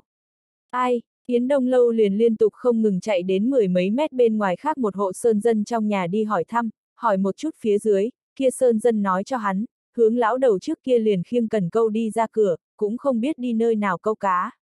Tân Lâm hỏi, lão nhân ra không có những thân nhân khác sao? Yến Đông Lâu lắc đầu, nói, hướng luôn cái cô độc lão nhân, không nghe nói hắn có cái gì thân nhân. Khó trách Yến Đông Lâu nói hắn tính tình cổ quái, cũng là có nguyên nhân. Bình thường giống hướng lão đầu loại tình hình này, tính tình có thể tốt mới là lạ. Đặng thông thiên liền vội phải dậm chân, cả giận nói, cái này hướng lão đầu, sớm không đi câu cá muộn không đi câu cá, hết lần này tới lần khác lúc này đi câu cá. Đông lâu, người hỏi lại hỏi, hắn đồng dạng đều đi những địa phương nào câu cá. Tiêu phàm nhìn dặm xa xôi chạy tới nơi này, lại ngay cả hướng lão đầu bóng người đều không gặp được, đặng thông thiên có phần dám trên mặt không ánh sáng. Kết quả lại hỏi một chút, hàng xóm kia lại lắc đầu liên tục, biểu thị hướng lão đầu xuất quỷ nhập thần, ai cũng không biết hắn sẽ đi đâu. Yến Đông Lâu liền có chút bất đắc dĩ nói, tiêu tiên sinh, hướng lão chính là như vậy tính cách, hắn xưa nay không đi nhiều người địa phương câu cá. Giống đập chứa nước A, có người nuôi hồ nước A, hắn chưa từng đi. Nghe nói Chu Khánh Nam đã từng cũng muốn hướng hắn bái sư, bị hắn mắng một chập, đuổi đi. Hắn chỉ cùng ta nói qua một chút câu cá đạo lý. Từ đó có thể biết, Yến Đông Lâu tại vị này lão già quái dị tử trong suy nghĩ địa vị vẫn còn rất cao. Chu Khánh Nam loại kia toàn huyện câu cá giải thi đấu quán quân, toàn thành phố thứ ba hảo thủ, tại hướng lão đầu trước mặt cũng chỉ có bị mắng phần. Tiêu phàm cười cười, nói, đã dạng này, vậy chúng ta tùy tiện tìm xem xem đi. Tùy tiện tìm xem, Đặng Thông Thiên cùng Yến Đông Lâu lập tức hai mặt nhìn nhau, tràn đầy kinh ngạc vẻ không hiểu. Cái này ô gà núi phải lớn bao nhiêu, tùy tiện tìm xem có thể tìm được. Đụng vận khí cũng không phải là như thế đụng đi. Tiêu phàm không đợi bọn hắn trả lời, đã nhấc chân đi thẳng về phía trước, tại hướng lão đầu nhà gỗ nhỏ trước đứng lặng chốc lát, lại vây quanh nhà gỗ dạo qua một vòng. Thấy tình như vậy hình, đặng thông thiên lần nữa cùng Yến Đông Lâu liếc nhau, vẻ nghi hoặc càng đậm. Thật không biết tiêu phàm muốn làm gì, tiêu phàm cũng đã hướng đông bên cạnh đường núi đi đến. Tân lâm theo sát, hắc lân lung lay cái đuôi, đi tại tiêu phàm bên chân. Hôm qua cao hứng nhất đại khái chính là cái này mèo mun lớn, ăn no nê một trận cá bạc, ăn đến miệng đầy chảy mỡ, tinh thần đại chấn. Theo đặng thông thiên nói, Yến Đông lâu câu cá bạc, người bình thường có thể hưởng dụng không đến, chỉ có khách nhân tôn quý nhất đến mới có thể lấy ra hưởng khách, lại số mèo mun lớn ăn đến nhiều nhất. Đặng thông thiên cùng Yến Đông lâu cứ việc không hiểu, lại cũng chỉ có thể theo sau. Vô luận như thế nào, không thể lãnh đạm quý khách, tạm thời coi là bồi tiêu phàm tân lâm dạo chơi ngoại thành đạp thanh, giải sầu một chút tốt. Tây trại xây ở sườn núi, ô gà trại lại tại chân núi, trong sơn cốc, một đầu trong trẻo dòng suối nhỏ uốn lượn hướng chảy phương xa. Toàn bộ vùng núi, phần lớn là loại địa hình này, đồi núi kéo dài, khe rãnh tung hoành, giao thông cực kỳ không tiện. Cái này cũng sơn thành đông nam số huyện kinh tế lạc hậu nguyên nhân chủ yếu. Chỗ tốt duy nhất là cơ bản nguyên chấp nguyên vị đem thiên nhiên phong mạo bảo tồn lại, làm cho lần đầu lại tới đây khách nhân thấy mà quên tục, lưu luyến quên về. Tiêu phàm theo dòng suối nhỏ bên bờ tiểu đạo hướng về phía trước, nhìn như không chậm không nhanh, thực tế dưới chân đi được rất nhanh, Đặng Thông Thiên cùng Yến Đông Lâu muốn xài bước mới có thể theo kịp. Đặng Thông Thiên được chứng kiến tiêu phàm bản sự, cũng không bị gì, Yến Đông Lâu lại là âm thầm tặc lưỡi. Hai vị này thành phố lớn đến thiếu gia tiểu thư, thật đúng là nghiêm túc. Nửa giờ sau, lại chuyển qua một ngã rẽ, xa xa nhìn thấy trên một tảng đá lớn, ngồi một cái khô gầy lão nhân, cầm trong tay một cây cần câu, đang ở nơi đó thả câu. Yến Đông Lâu lập tức đại hỉ, kêu lên, đó chính là hướng lão. Đặng thông thiên không khỏi hãi nhiên, tùy tiện tìm xem thật đúng là tìm được, thậm chí ngay cả nửa bước đường nghiêng đều không đi qua, trực tiếp liền tìm đến nơi này, giống như tiêu phàm đã sớm biết hướng lão đầu sẽ ở nơi này câu cá. Không đến mức thần kỳ như thế đi, tiêu tiên sinh, cái này, cái này, người thật là thần. Đặng thông thiên nhìn không được nói, trong mắt không khỏi mang theo một điểm trưng cầu chi ý, rất muốn hiểu rõ, tiêu phàm làm sao sẽ biết hướng lão đầu sẽ ở đây. Tiêu phàm mỉm cười nói, suy tính phương vị, bất quá là tiểu đạo thôi, ngược lại cũng không phải một chỗ vô dụng. Đây là tiểu đạo A, kia cái gì mới gọi đại đạo. Đặng thông thiên trong lòng âm thầm kinh ngạc, nhìn về phía tiêu phàm ánh mắt bên trong, càng là đầy cõi lòng kính sợ. Hướng lão, hướng lão, lập tức tìm tới hướng lão đầu, Yến Đông Lâu mừng rỡ, lớn tiếng kêu lên, bước nhanh chạy tới, miệng bên trong nói liên miên lại nhảy nói, hướng lão, có thể tìm được ngươi, hắc hắc, sáng sớm liền ra câu cá, xem ra lão nhân ra người thân thể còn rất tốt, mọi người đều nói, người phong can nữa nha. Gọi cái quỷ A, gọi, Yến Đông Lâu nói còn chưa dứt lời, hướng lão đầu liền nổ, trùng điệp đưa trong tay đen nhánh cần câu tại trên tảng đá lớn dừng lại, hướng về phía Yến Đông Lâu liền cuồng phun nước miếng, một đôi quái nhãn chừng phải căng tròn, vẫn đục trong mắt bên trong, tràn đầy lửa giận. Hướng lão, Yến Đông Lâu giật mình kêu lên, kìm lòng không đặng lui về sau một bước. Ngươi còn gọi, vất vả cả buổi, mắt thấy là phải mắc câu, đều bị ngươi làm hỏng. Hướng lão đầu tức giận đến giơ chân, nhìn thật kỹ, lão nhân này ước chừng bảy hơn 10 tuổi bộ dáng, dáng người thấp tiểu khô gầy, nhiều nhất có khoảng 1m50, toàn thân trên dưới không nhìn thấy một tia thịt, cũng không biết có hay không nặng 80 cân. Một gương mặt càng là dáng dấp hình thù kỳ quái, con mắt lão đại, cái mũi lại nhỏ, ngũ quan nhét chung một chỗ, dưới hàm một túm dâu dê, cùng tóc của hắn đồng dạng, đều là hoa dâm sắc, giờ phút này đi lên vểnh lên, thần sắc rất là phẫn nộ. Liên bộ này tôn dung, thực tế không cách nào nhìn thẳng, khó trách hắn đánh cả một đời quang côn, thật đúng là không có gì nữ nhân dám gả cho hắn. Vạn nhất nửa đêm tỉnh lại, thình lình ở bên người nhìn thấy dạng này một gương mặt, làm không tốt muốn dọa chết người. Hướng lão đầu cần câu, cũng cùng bình thường nhìn thấy khác nhau rất lớn. Hiện tại kinh tế phát đạt, bình thường câu cá kẻ yêu thích, đều mua sợi thủy tinh cần câu cùng carbon sợi cần câu, kháng kéo cường độ tốt, thụ lực đều đều, phân lượng lại nhẹ, là rộng rãi câu bản tình cảm chân thành. Nhưng Yến Đông Lâu sử dụng cần câu, lại là cây gậy trúc, hôm qua Yến Đông Lâu hướng tiêu phàm giới thiệu qua, kia là trúc tương phi chế thành, trước kia là hắn ca ca Yến Tây Lâu dùng.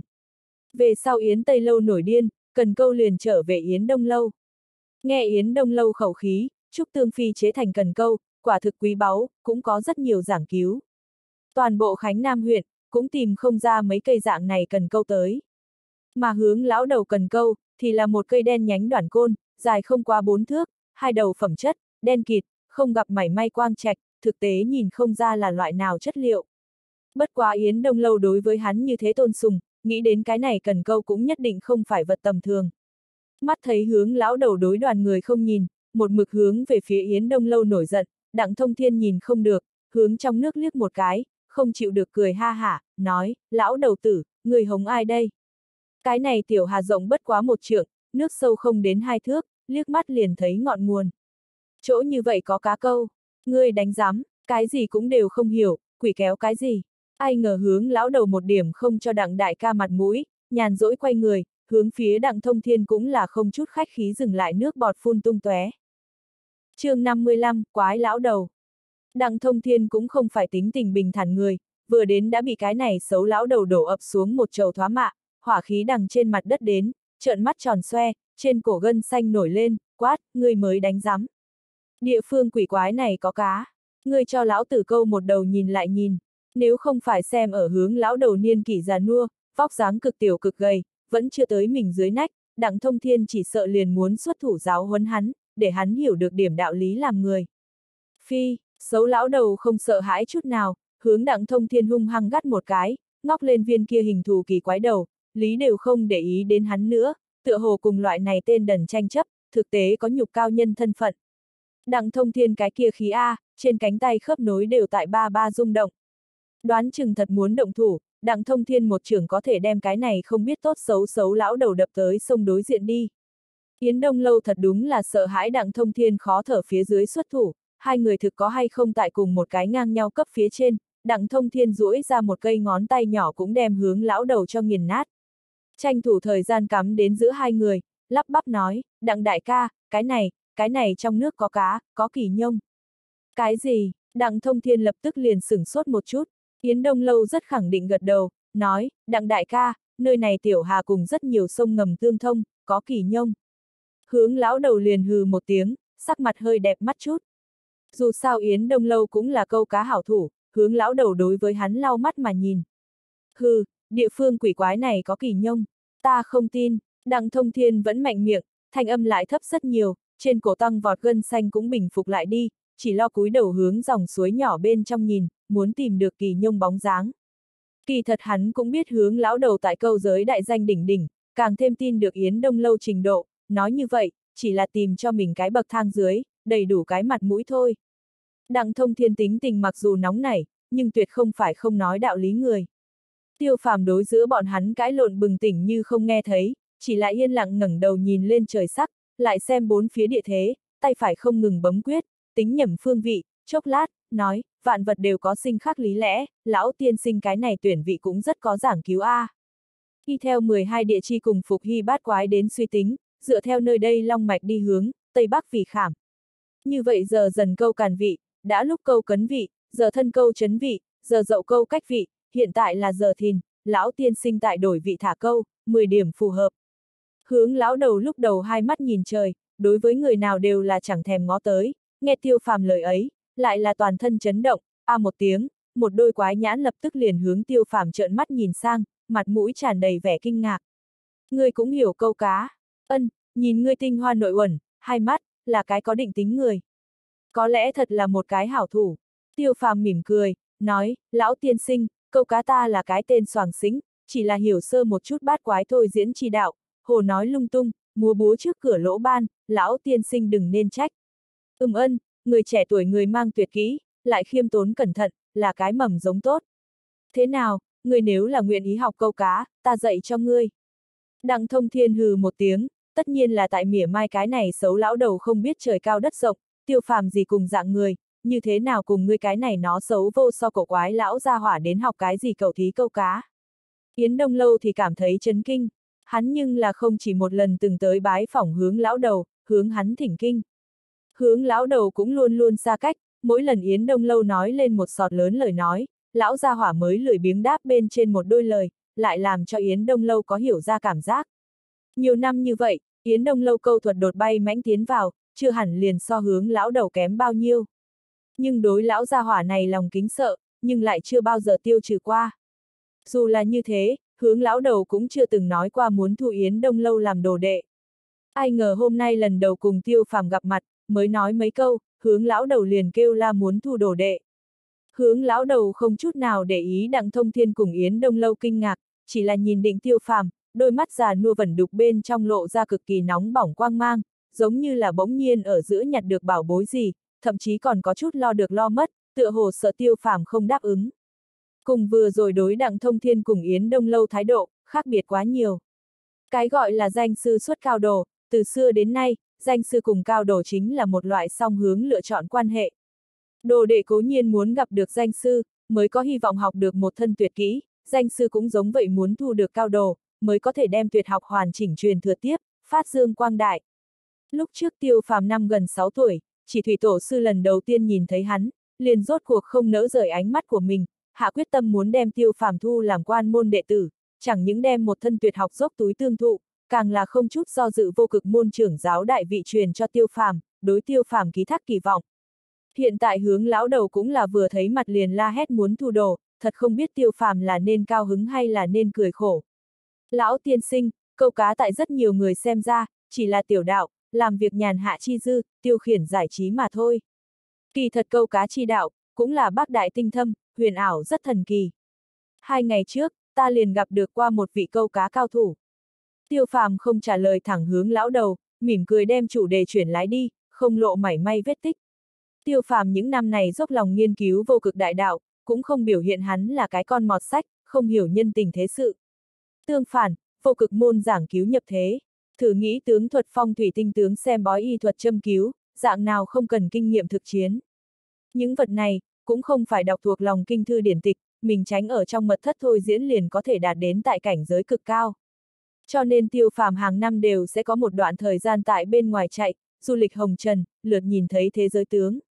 Lão tiêu nhà như thế một cùng một hào môn đại tộc, nhà mình quy củ liền đủ xâm nghiêm.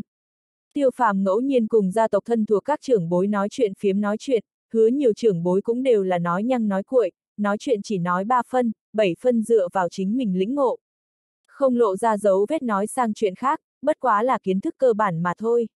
a à, người gặp qua câu cá cao thủ, là ai a? À? Hướng lão đầu lập tức hứng thú, lập tức hỏi. Nói đến nói chuyện kỹ xảo, hướng lão đầu loại này là người sơn giã, nơi nào là tiêu phàm đối thủ.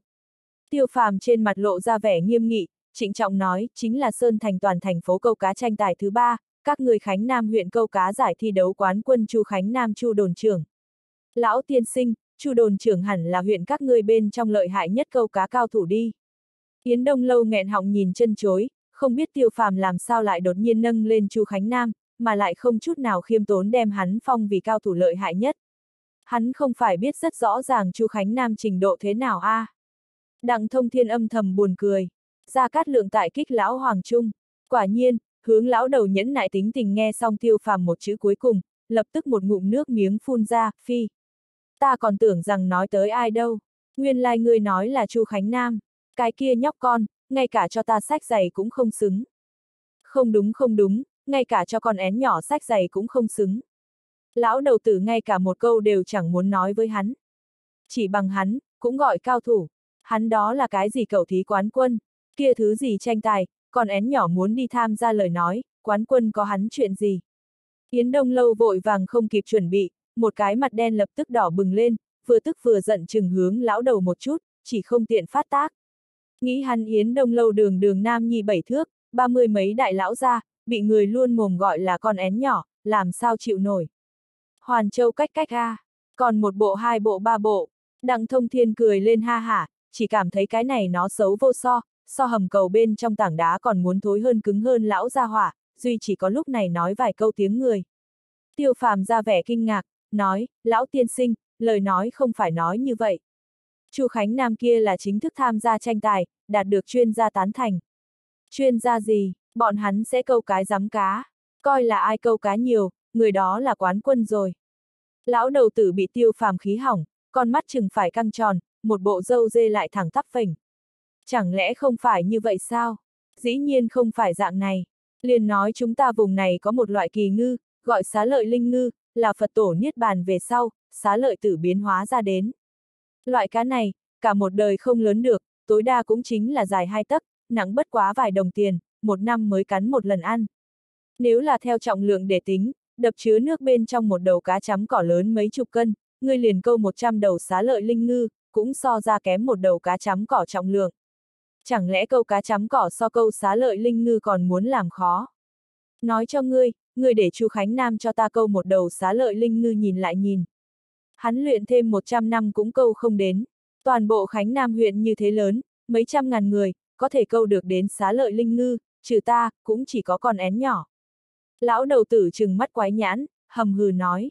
Yến Đông Lâu không thể kìm được, kháng nghị nói, hướng lão, ta gọi Yến Đông Lâu, không phải cái gì, cái gì con én nhỏ. Danh tự này quá khó nghe. Đặng thông thiên lần nữa cười lên ha hả, âm thanh chấn khắp nơi. Ngay cả một mực an tĩnh ở một bên dự thính Tân Lâm đều không chịu được mỉm cười. Tân Lâm luyện công nhàn hạ chi dư, cũng đọc tiểu thuyết, nhìn phim ảnh TV, tuyệt không phải không ăn nhân gian yên hỏa.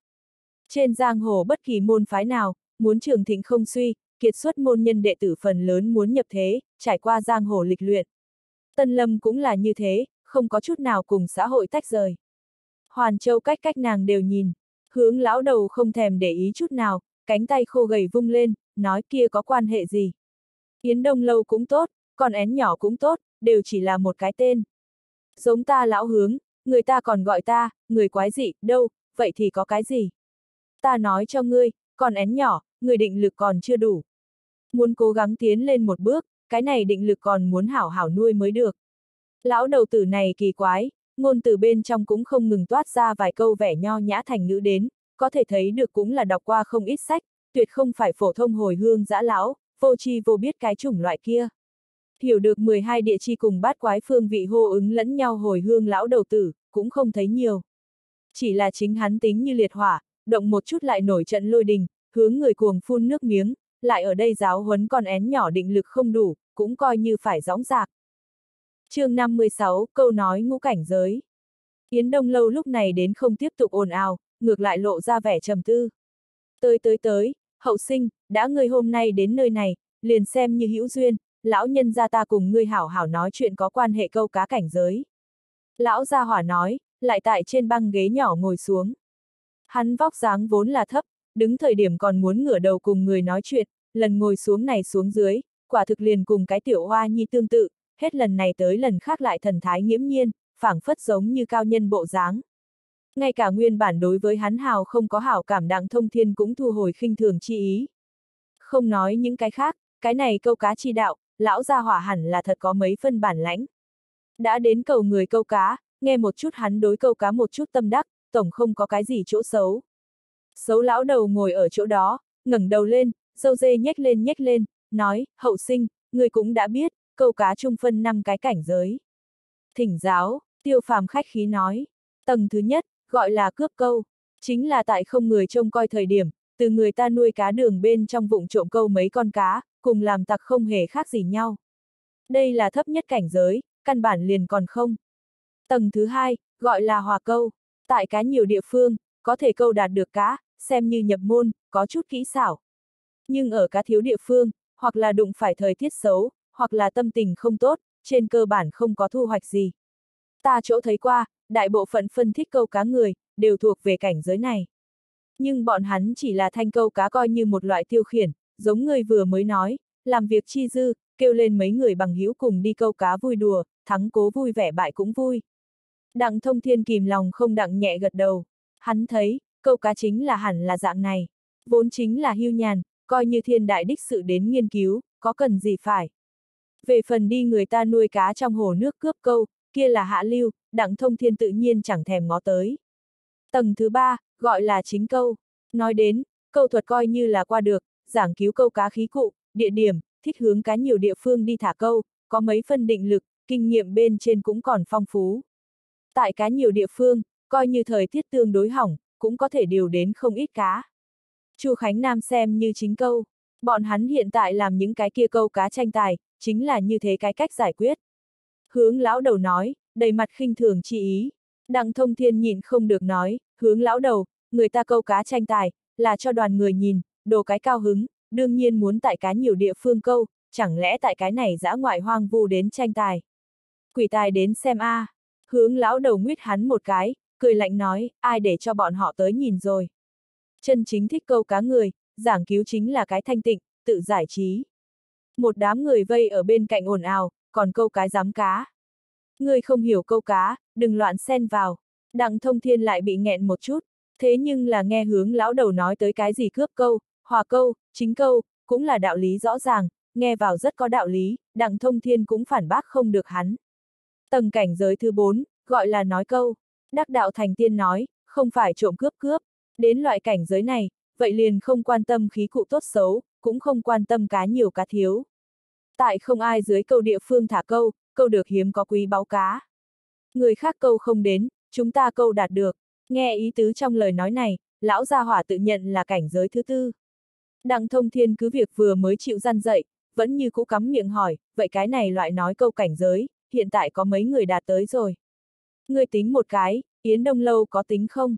Hướng lão đầu liếc Yến Đông Lâu một chút, nói con én nhỏ mấy năm trước vẫn còn không tính là, mấy năm này tiến bộ rất nhanh, miễn cưỡng cũng coi như bước vào cảnh giới này.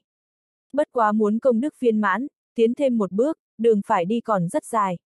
Con én nhỏ, người cây kia trúc tương phi thật tâm cần câu, là người ca 10 năm trước dùng, khi đó ta liền nhìn thấy hắn rất có ngộ tính, vốn là có hy vọng. Đáng tiếc, nghe lão đầu tử nâng lên Yến Tây Lâu, Yến Đông Lâu liền có chút khổ sở, nói, đúng vậy a, à, ta câu cá còn là theo chân anh ta nhập cửa. Hắn câu cá chỉ là yêu thích, càng thích lên núi đi hái thuốc. Hướng lão đầu cười cười, nói, loại tâm tính này liền đúng rồi. Vô tâm cắm liễu liễu xanh um nha, câu cá là rất giảng cứu ngộ tính, ngộ tính của ngươi tính thật là tốt, bất quá so ngươi ca còn kém chút. Về phần so vị này hậu sinh, vậy liền kém xa. Hậu sinh, ngươi nếu thật là chịu theo ta học câu cá, ta cam đoan không cần mấy năm, ngươi liền có thể đi vào nói câu cảnh giới. Thế nào, nói nói, lão gia hỏa lại bắt đầu dẫn dụ tiêu phàm. Tiêu phàm mỉm cười, nói, lão tiên sinh, ngươi vừa rồi nói câu cá một tổng cộng chia làm năm cái cảnh giới, nói câu là tầng thứ tư, không biết nói câu phía trên, lại là cái gì cảnh giới. Lại cho hắn làm một chiêu tứ lạng bạc thiên cân, lão gia hỏa thần sắc, lập tức liền ngưng trọng lên, không còn cao cao tại thượng, phần đục trong mắt, lóng lánh một loại nào đó đặc biệt hào quang. Nói câu phía trên, chính là thần câu hoặc là ma câu. Đến cảnh giới này, kia là cao thủ chân chính, thiên mục khai sáng, có thể một chút nhìn thấu đáy nước, thấy cá dưới câu, chỉ cá lên bờ, thần hồ kỳ thần. Đặng thông thiên nói, chỉ cá lên bờ, có hay không lợi hại như vậy a? À? Kia thần câu cùng ma câu có khác nhau ở chỗ nào, ai lợi hại hơn? Thần ma vô cao thấp, thần câu cùng ma câu đều là câu cá cảnh giới tối cao, đến cùng ai cao ai thấp, thực tế rất khó kết luận.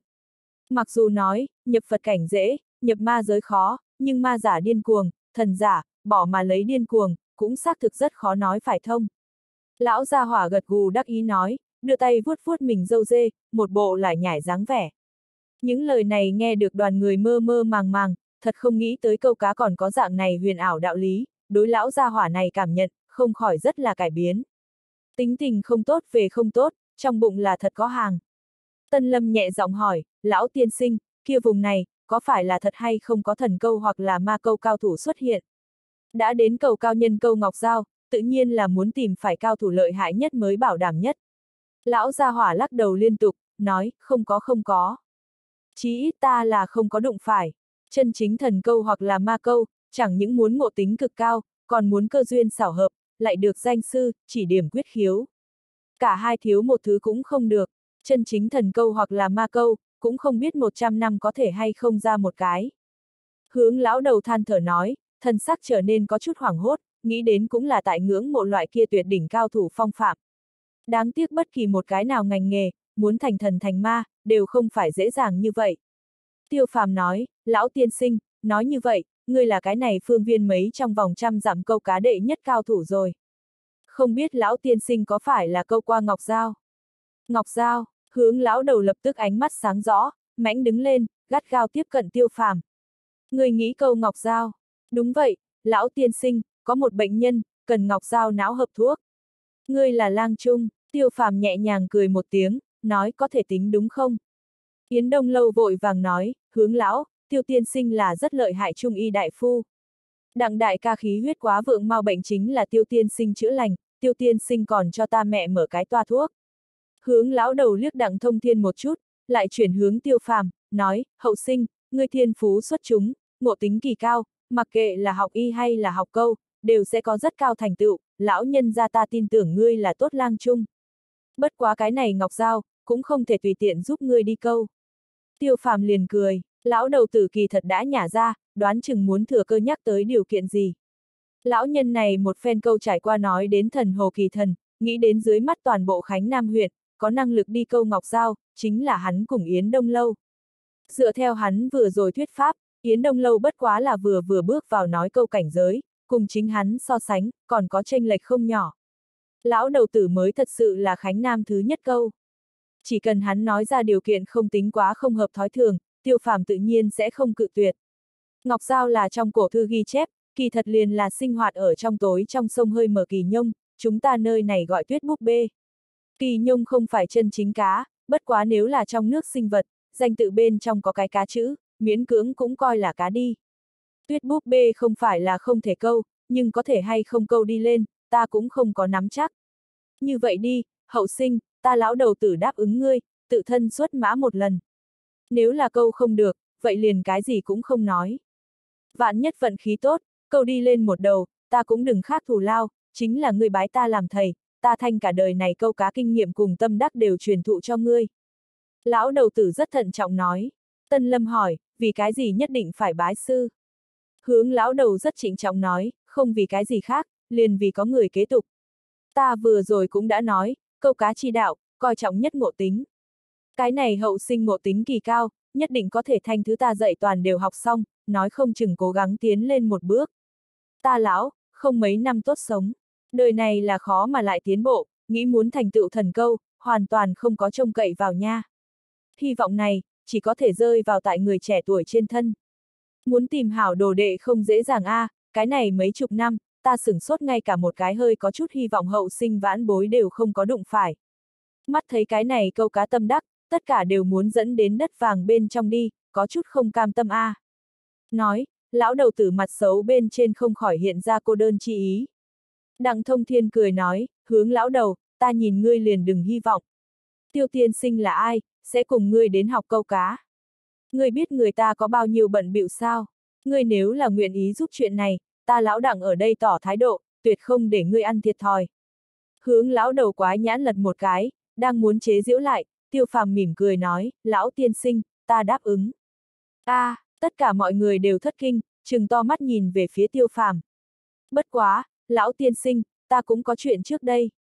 Coi như ngươi vì ta câu đi lên ngọc giao, ta còn có một cái đại sự trước hết xử lý. Chờ ta xong xuôi chuyện này, nếu như hết thảy thuận lợi, ta khẳng định lại về Khánh Nam, cùng lão nhân ra người học câu cá. Tiêu phàm chậm rãi nói, thân sắc cực kỳ trịnh trọng, không chút nào giống giả mạo. Tốt, thống khoái, chúng ta một lời đã định, hướng lão đầu trùng điệp vỗ đùi, lớn tiếng nói, bộ dáng có chút hưng phấn chương 57, Thác nước Hàn Đàm. Hai núi cao trì, một đạo ngân long như thác nước từ trong hai vú cuồn cuộn đổ thẳng xuống, tiếng nước oanh minh, cảnh tượng hùng vĩ, xa xa nhìn lại, khiến người không tự kìm hãm được tâm thần thanh thản. Tân Lâm nhìn không được nhẹ nói, nơi này phong cảnh thật đẹp, cùng chúng ta thất diệu cung không sai biệt lắm. Ngôn từ ở giữa, không khỏi mang theo điểm điểm vẻ u sầu, khả năng có chút nhớ nhà. Hai người sớm chiều ở chung ba năm, có quan hệ vô cực môn sự tình, chỉ cần Tân Lâm mở miệng hỏi thăm, tiêu phàm cho tới bây giờ đều là thản nhiên báo cho, rất ít có cái gì giấu giếm, thậm chí Tân Lâm không hỏi, ngẫu nhiên nói chuyện phiếm, tiêu phàm cũng sẽ giảng một chút cho nàng nghe. So ra mà nói, đối với thất diệu cung tình hình, Tân Lâm liền nói phải tương đối ít. Bất quá cũng cùng tiêu phàm đồng dạng, chỉ cần tiêu phàm hỏi thăm, Tân Lâm đều sẽ nói cho hắn biết. Duy chỉ có thất diệu cung tổng đàn đến cùng thiết ở nơi nào, Tân Lâm nhưng xưa nay không đề cập. Tiêu phàm cũng không nhiều hỏi. Mảnh luận phía dưới, thất diệu cung cùng vô cực môn quan hệ đủ phức tạp, ẩn ẩn mang theo đối địch chi ý, nhưng lại quấy dày không rõ. Tân Lâm làm thất diệu cung đương đại thánh nữ, lại bị chỉ thủy tổ sư xem như tiền đặt cược thắng trở về, cũng đủ quỷ dị. Tân Lâm cũng thoáng tiết lộ qua, thất diệu cung cùng vô cực môn chiến đấu hàng trăm hàng ngàn năm, cơ hồ chưa hề thắng nổi một lần, đối mặt vô cực môn đời thứ 64 trưởng giáo chân nhân, thất diệu cung thánh nữ cẩn thận một điểm, cũng là phải. Tiêu phàm thấp giọng nói, ngươi nếu là muốn trở về, kia liền trở về xem một chút đi. Tân Lâm lắc đầu, nàng là muốn về nhà đi xem một chút, nhưng bây giờ rõ ràng không thích hợp. Tiêu phàm cùng toàn bộ tiêu gia, đều gặp phải cực kỳ khảo nghiệm nghiêm trọng, sống còn. Đây là một chi bốn người đội ngũ nhỏ, còn nhom hướng lão đầu đi ở phía trước, cầm trong tay hắn đầu kia đen nhánh đoạn côn cần câu, bên hông treo hai cái hổ lô, cũng không biết bên trong chứa những gì. Yến Đông Lâu theo sát phía sau, vẫn như cũ mang theo hắn cái Yến Tây Lâu từng dùng qua cây kia trúc tương phi thật tâm cần câu, có một cái to lớn hoàng túi đeo vai, viết năm cái long phi phượng vũ màu đỏ chữ lớn vì nhân dân phục vụ. Nhìn thấy loại này lão cổ đồng vì nhân dân phục vụ, tiêu phàm tổng có một chút cảm giác thân thiết. Lên tiểu học thời điểm, loại này túi đeo vai là bọc sách của hắn. Sớm chiều ở chung 5 năm, lúc kia, tiểu học trong cơ bản đều là cùng loại vì nhân dân phục vụ. Liền bốn người bọn họ, Đặng Thông Thiên không cùng tới. Hướng lão đầu kiên quyết không chịu để Đặng Thông Thiên đứng ngoài quan sát. Chiếu hướng lời của lão đầu nói, Đặng Thông Thiên đầy người táo bạo chi khí, cùng câu người ý cảnh không hợp nhau. Có dạng này người theo bên người, con cá này không có cách nào câu. Đặng thông thiên ở trong lòng hung hăng chào hỏi hướng lão đầu kia giả dối không có thật nữ tính thân thuộc vô số lần, lại cũng chỉ có thể hướng cái này đáng giết ngàn đao lão ra hỏa khuất phục. Hắn mới là câu vương, đặng thông thiên không phải. Đây đã là ngày kế tiếp.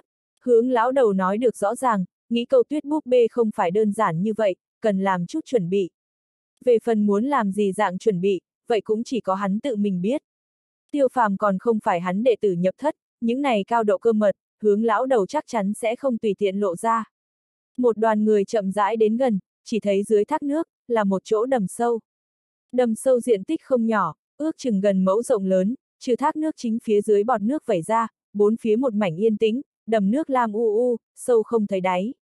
Chỗ này thác nước, cùng tây trại cùng ô gà trại ở vào một cái tam giác vị trí, vô luận từ tây trại xuất phát hay là từ ô gà trại xuất phát, đều cần đi đến ước chừng 2 giờ, hẳn là hơn 10 km xa gần. Vừa vừa đi gần nước đầm, thấy lạnh cả người đập vào mặt, để người run lên vì lạnh. Yến Đông Lâu liền giải thích nói, tiêu tiên sinh, tân cô nương, đầm nước này cùng sông ngầm tương thông, thác nước về sau, chính là một đầu sông ngầm. Nước sông đông ấm hè mát, nếu là mùa đông đến nơi đây, liền có thể cảm thấy đầm nước thật ấm áp.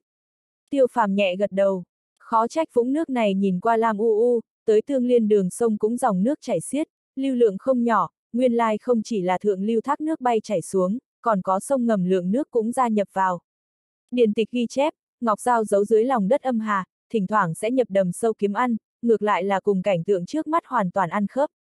Nơi này là hướng lão đầu dẫn đoàn người đến, có thể thấy được lão đầu tử đối Ngọc Giao tập tính hết sức quen thuộc. Yến Đông Lâu nói hắn đã từng thử qua một lần thả câu tuyết búp bê, nhưng không thành công. Nhưng lại không biết hướng lão đầu phải chăng có thành công tiền lệ. Mặc dù nói trước kia câu qua tuyết búp bê, không có nghĩa là hôm nay cũng nhất định có thể câu được đến, nhưng mà tối thiểu nhất có thể coi là có nhất định kinh nghiệm. Chỉ là hướng lão đầu mình không nói, người khác cũng không tốt xin hỏi. Coi như hỏi, cái này tính tình cổ quái đến cực điểm lão gia hỏa có phải là chịu trả lời, kia còn chưa nhất định đâu. Bất quá nhìn hướng lão đầu bình chân như vậy dáng vẻ, hoặc nhiều hoặc ít hẳn là có mấy phần chắc chắn.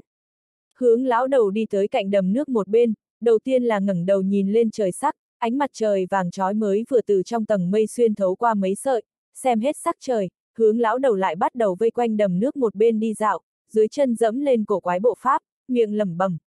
Loại này bước chân, tiêu phàm xem xét liền biết, là dẫm bát quái phương vị. Xem ra hướng lão đầu trong ngực sở học, quả thực bất phàm. Như cùng hắn mình lời nói, cái này câu cá một đạo, quả nhiên bác đại tinh thâm, không là người ngoài tưởng tượng được đơn giản như vậy. Chỉ chốc lát, hướng lão đầu đã chọn tốt phương vị, tại bờ đầm một chỗ tương đối cao nham thạch bên trên ngồi xuống, cầm lấy bên hông treo một cái hổ lô, mở ra, ngửa đầu uống một ngụm, lập tức phốc một tiếng, phun về phía dưới chân mặt nước, cũng không biết hắn cái này trong hồ lô chứa là cái gì chất lỏng, mơ hồ nghe được mùi rượu thơm.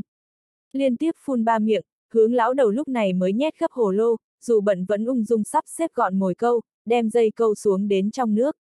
Đây hết thảy thấy Yến Đông Lâu có chút ngẩn người, trên mặt lộ ra vẻ xấu hổ, thấp giọng nói, tiêu tiên sinh, cái này nhìn sắc trời ta cũng biết, nhưng dựa theo bát quái tính phương vị, ta là thật không hiểu.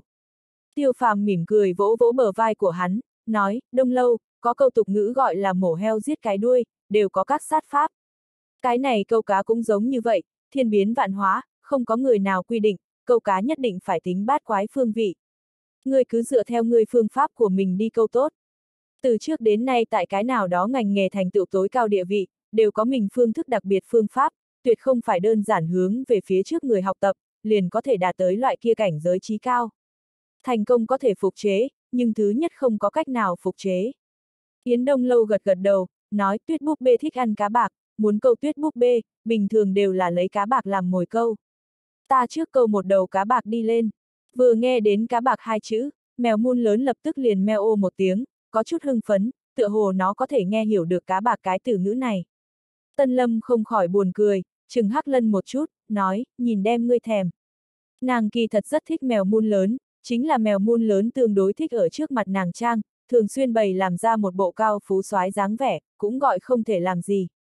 Mèo muôn lớn không giống bình thường, Yến Đông Lâu cũng có phát giác, liền vội vàng cười nói, đợi chút nữa trước cho ngươi câu một đầu. Mèo muôn lớn lại là mèo ô một tiếng, phảng phất đối này cảm giác sâu sắc hài lòng. Yến Đông Lâu lúc này mới híp mắt mở mắt, bắt đầu dò xét đầm nước. Chốc lát, trực tiếp đi hướng khác một tảng đá lớn, mở ra trúc tương phi cần câu, lắp đặt mồi câu, đem móc xuống đến trong nước. Sau đó từ trong bao đeo xuất ra một cái vải bông cái đệm, trải tại trên tảng đá, ngồi xuống. Lần ngồi xuống này dưới, thần sắc hơi có vẻ xấu hổ Yến Đông lâu giống như biến thành người khác, trở nên trầm tĩnh vô so, rất chuyên chú nhìn chằm chằm lam u u đầm nước. Lại nhìn bên kia hướng lão đầu, càng thêm uyển như lão tăng nhập định, cả người tựa hồ cũng đã cùng nham thạch hòa làm một thể, không phân rõ lẫn nhau. Đầm nước có gần mẫu phương viên, bên bờ quái thạch đá lởm chởm, nước khu bờ sông có chút kéo dài. Tiêu phàm ngẩng đầu nhìn một chút sắc trời, tay phải bấm quyết, thoảng qua tính toán, trong lòng lợi dụng nắm chắc, cũng đi đến cách đó không xa trên một tảng đá, khoanh chân ngồi xuống.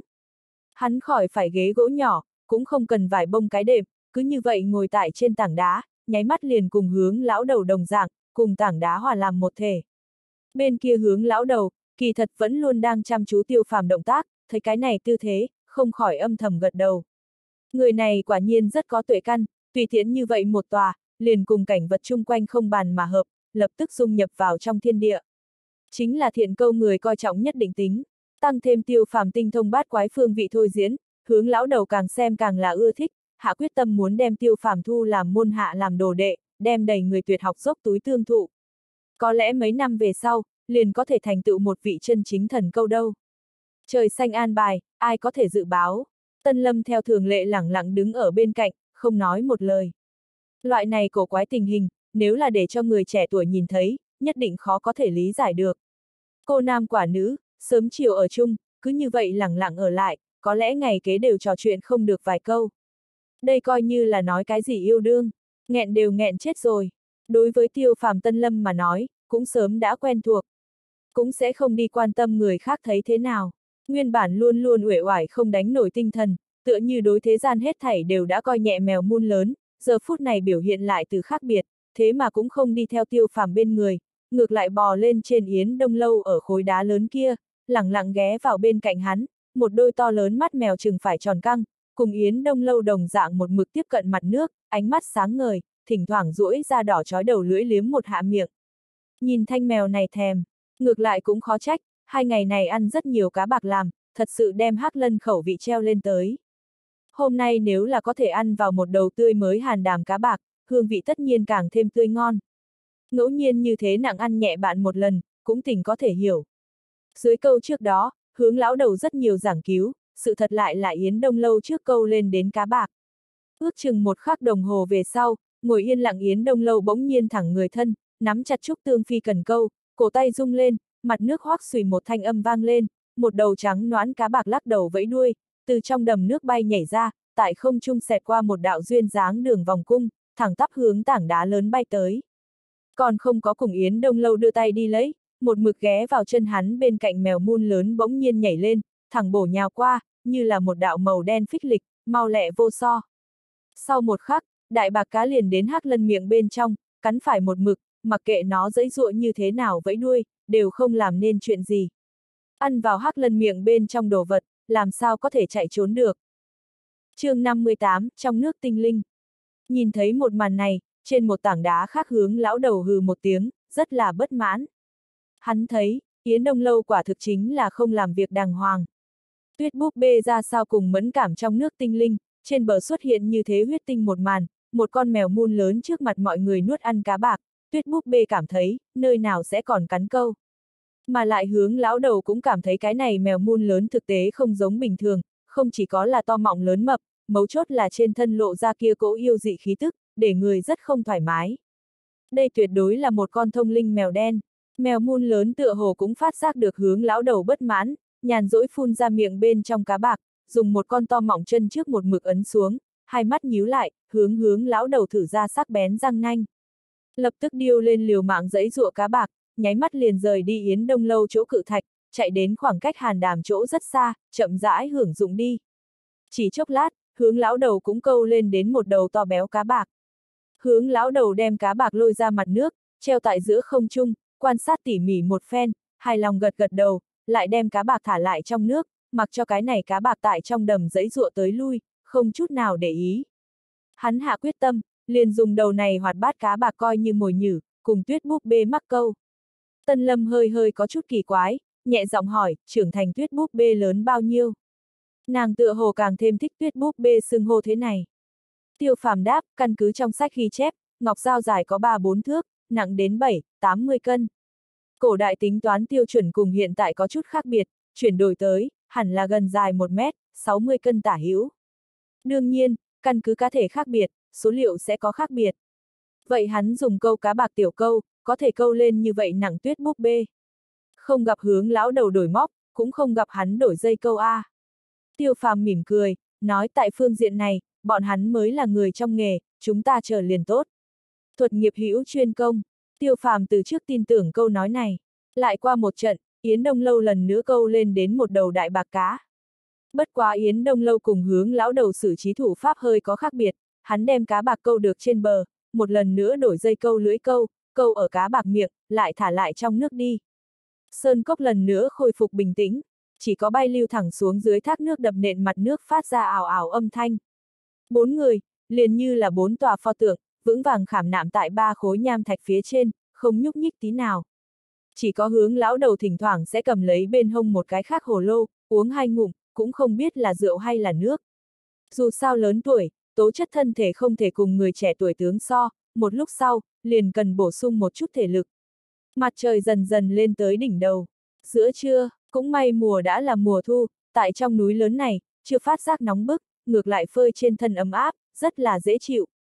Mèo muôn lớn sớm đã ăn xong đại bạc cá, trở lại tiêu phàm bên chân nằm xuống, thỉnh thoảng liếm một cái miệng, tựa hồ rất là hài lòng.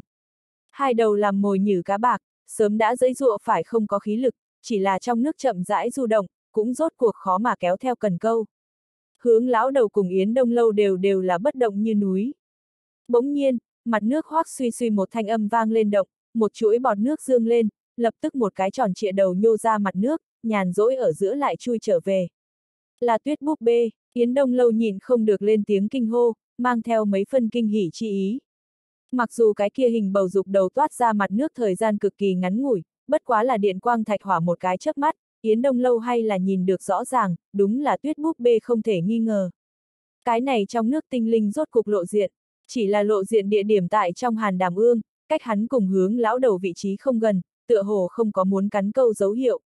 Hướng lão đầu vẫn như cũ vững như bàn thạch, không có nửa điểm động tính. Ngược lại là nguyên vốn đã hữu khí vô lực cá bạc, bỗng nhiên lại sinh động, trong nước liều mạng du động, giống như là đang tránh né cái gì ôn thần quái thú. Phổ thông kỳ nhông là ăn thịt tính động vật, tính tình hung mãnh, lấy thủy sinh côn trùng, cá, tôm, ba ba, ếch, rắn, chuột cùng làm thức ăn, thậm chí còn có thể săn mồi chim nước loại hình. Cái này tuyết búp bê là phổ thông kỳ nhông biến chủng, nhưng nghĩ đến thói quen về ăn là đồng dạng. Cá bạc chính là nó thích mỹ thực, ngồi ngay ngắn bất động tiêu phàm cùng Tân Lâm đều hướng na bên cạnh trông đi qua.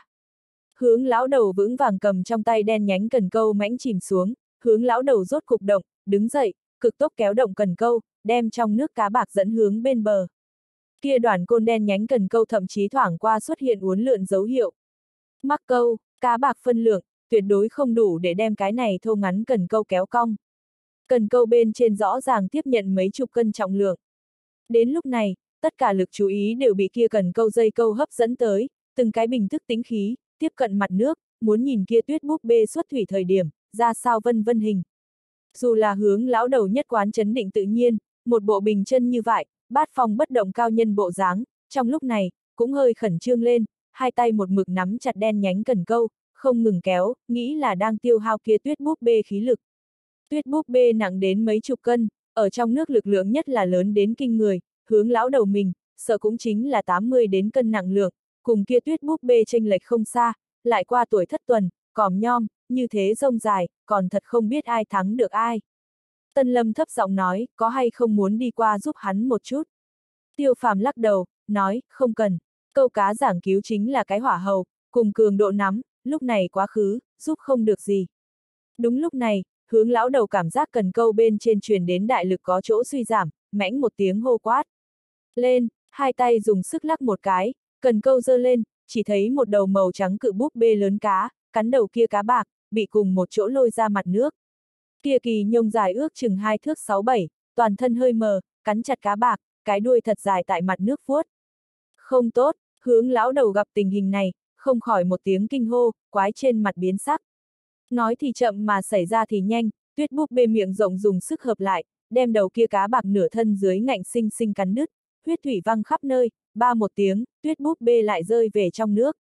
Hướng lão đầu kinh ngạc nhìn nhìn qua lưỡi câu bên trên treo một nửa cá bạc, thần sắc trên mặt biến ảo, cắn răng nghiến lợi mắng, không nghĩ tới thứ này giảo hoạt như thế. Đầm nước sâu u, nhìn không rõ ràng, bằng cảm giác, coi là tuyết búp bê đã đem cá bạc nuốt tiến vào trong bụng, không nghĩ lại là một mực cắn cá bạc một đoạn, cùng hướng lão đầu tại phân cao thấp. Như có lẽ đã nhìn rõ hướng lão đầu dụng tâm hiểm ác, chính là không chịu đem chọn đầu cá bạc đều nuốt vào trong bụng đi. Cuối cùng tại cá bạc huyền không nháy mắt, càng là mượn nhờ hướng lão đầu lực lượng cùng tự thân thể trọng sức kéo, ngạnh sinh sinh đem cá bạc xé thành hai đoạn. Chỉ chốc lát, kia tuyết búp bê đầu lại toát ra mặt nước, miệng bên trong một nửa đoạn cá đã ăn đến sạch sẽ, hướng về phía hướng lão đầu A. Nhà gọi hai tiếng, dương dương đắc ý bãi xuống cái đuôi, chui vào trong nước không thấy bóng dáng. Bị một con trong nước xúc sinh như thế xem thường, hướng lão đầu tức đến cơ hồ một ngụm lão huyết muốn phun sắp xuất hiện tới. Yến Đông Lâu cũng là trợn mắt hốc mồm, không nghĩ tới tuyết búp bê giảo hoạt đến thế. Giống như tiêu phàm nuôi con kia mèo mun lớn, cũng có linh tính. Yến Đông Lâu trên mặt vẻ kinh ngạc chưa tiêu trừ, hắn bên kia cũng có động tính, lưới câu bên trên cá bạc bỗng nhiên nhảy ra mặt nước, có phần như thất kinh dáng vẻ, ngay sau đó, mặt nước hiện ra tuyết búp bê hơi mở lưng, lại là tại trêu đùa lưới câu bên trên đầu kia cá bạc, không chỗ ở vây quanh cá bạc đổi tới đổi lui, chính là không dưới miệng. Không muốn câu, thứ này đã thành tinh, coi chừng nó cắn đứt ngươi dây câu. Hướng lão đầu chố mắt nửa ngày, hung hăng đem lưỡi câu bên trên một nửa cá bạc gỡ xuống, dùng sức ném nước vào bên trong, nổi giận đùng đùng quát. Câu cả một đời cá, không có như hôm nay dạng này mất mặt qua. Yến Đông Lâu không để ý tới, hai con ngươi chừng to lớn, cắn chặt hàm răng, hai tay một mực nắm chặt trúc tương phi cần câu, gắt gao tiếp cận trong nước cái kia vừa đi vừa về du động, không ngừng thăm dò một chút yêu tinh. Trong bất chi bất giác, cái chán sớm đã mồ hôi đầm đìa, Yến Đông Lâu lại giống như chưa tỉnh. Hướng lão đầu đã đem dây câu thu hồi, thanh đen nhánh cần câu ném ở một bên, nhổ hồ lô cái nắp, từng ngụm từng ngụm hướng miệng bên trong rót, rót mấy ngụm lại thật dài phun ra một ngụm chọc khí, chỉ cảm thấy trong lòng khí muộn vô so, ánh mắt lại cũng không tự chủ được nhìn chằm chằm Yến Đông Lâu bên kia mặt nước. Có lẽ, Yến Đông Lâu vận khí tốt hơn hắn chút cũng cũng chưa biết. Hắn biết Yến Đông Lâu đổi qua lưỡi câu, to thêm dây câu, đây là Yến Đông Lâu so hắn cẩn thận biểu hiện. Lần này, như kia tuyết búp bê lập lại chiêu cũ, lại muốn cắn rơi một nửa cá bạc lời nói, chỉ sợ sẽ mắc lừa. Làm không tốt Yến Đông Lâu còn tại cá bạc thân thể những bộ vị khác, giấu giếm chuẩn bị ở sau. Lại trò chơi một hồi, kia tuyết búp bê tựa hồ bắt đầu chán ghét, bỗng nhiên mở ra miệng rộng, hung hăng hướng về cá bạc đằng trước dây câu cắn. Nhanh lên can, hướng lão đầu rít lên một tiếng. Cái này tuyết búp bê quả nhiên như hắn sở liệu, là muốn cắn đứt dây câu. Tuyết búp bê răng tinh mịn mà sắc bén, cắn đứt dây câu cũng không phải là quá khó làm đến. Thừa dịp tuyết búp bê cắn tuyến thời điểm, bỗng nhiên lên can, có lẽ mượn nhờ kia cố quán tính lực lượng, có thể trải qua tuyết búp bê vung ra trên bờ cũng cũng chưa biết.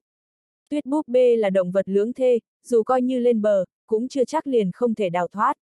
Nhưng hiện đặt vào tiêu phàm cùng Tân Lâm đều tại, tuyết búp bê một khi lên bờ, lại nghĩ vọt nước đọng bên trong đi, sợ là không dễ dàng như vậy. Yến Đông Lâu song tay nắm chặt cần câu, tại tuyết búp bê cắn dây câu nháy mắt, hai tay bỗng nhiên đi lên một dương, thật tâm trúc tương phi cần câu nhàn rỗi ở giữa cong thành một cây cung, lập tức đạn phải thẳng tắp. To lớn quán tính, quả nhiên đem cắn tuyến tuyết búp bê mang ra mặt nước, tại không trung xẹt qua một đường vòng cung, cực nhanh hướng nham thạch bên trên bay đi. Tốt, hướng lão đầu không chịu được lớn tiếng khen hay, nhưng là rất hiển nhiên, cái này âm thanh lớn tiếng khen hay còn quá sớm chút. Ba một tiếng, tuyết búp bê một lần nữa rơi nước đọng bên trong, Yến Đông Lâu chỉ cảm thấy cùng mình rằng co đại lực bỗng nhiên biến mất, lập tức đứng không vững, đặt mông ngã ngồi tại nham thạch phía trên, cần câu đoạn trước giống tuếch, dây câu đã bị tuyết búp bê cắn đứt, liên đới đầu kia cá bạc, đều không thấy bóng dáng. Tuyết búp bê lần nữa toát ra mặt nước, hướng về phía Yến Đông Lâu vị trí chỗ ở A. Nhà kêu to hai tiếng, cái đuôi đong đưa, ném ra một mảnh bọt nước, nặng lại chui nước đọng ngọn nguồn, cũng không tiếp tục lộ diện. Yến Đông Lâu ngơ ngác nhìn qua bị cắn đứt dây câu, nửa ngày nói không ra lời. Nhưng mà tiêu phàm nhưng không có nhìn về phía hắn, cũng không tiếp tục nhìn chằm chằm đầm nước, mà là nghiêng đầu đi, nhìn về phía bọn hắn đến đường núi. Trên sơn đạo, một đạo cực kỳ thon gầy bóng người, chính nhanh như thiểm điện hướng bên này vội sông mà đến, tóc thật dài, tại gió núi bên trong phiêu dương mà lên, tựa như một mặt đen nhánh cờ xí. Yến Đông Lâu theo ánh mắt của hắn trông đi qua, trong chốc lát há to miệng, không khép lại được đến. chương 60, Tử Vi Phi tinh trận. Ma câu xuất thế, chuyện này kỳ thật vẫn chưa gây nên quá lớn tiếng vọng. Yến Tây Lâu chạy ra trại, sau đó cùng Yến Đông Lâu hai anh em một thân ướt sũng về nhà, Tây trại rất nhiều người đều biết, cũng chỉ là cảm thấy kinh ngạc. Mặc kệ Yến Tây Lâu trước kia là hạng người gì, 10 năm thời gian đủ để cho trại bên trong thôn dân quên quá khứ. Bây giờ tại Tây trại tất cả thôn dân trong mắt, Yến Tây Lâu liền là thằng điên. Cứ việc trước đó, Yến Tây Lâu từ không chạy loạn, là cái văn tên điên, nhưng cũng không biểu hiện, hắn ngẫu nhiên chạy đi ra ngoài một chuyến liền sẽ khiến sóng to gió lớn. Tên điên nha, chạy loạn khắp nơi đó chính là hẳn là. Cái này không Yến Đông Lâu đem hắn ca cho tìm trở về rồi. Đoán chừng trên đường rơi xuống nước, hay là Yến Đông Lâu cấp cứu.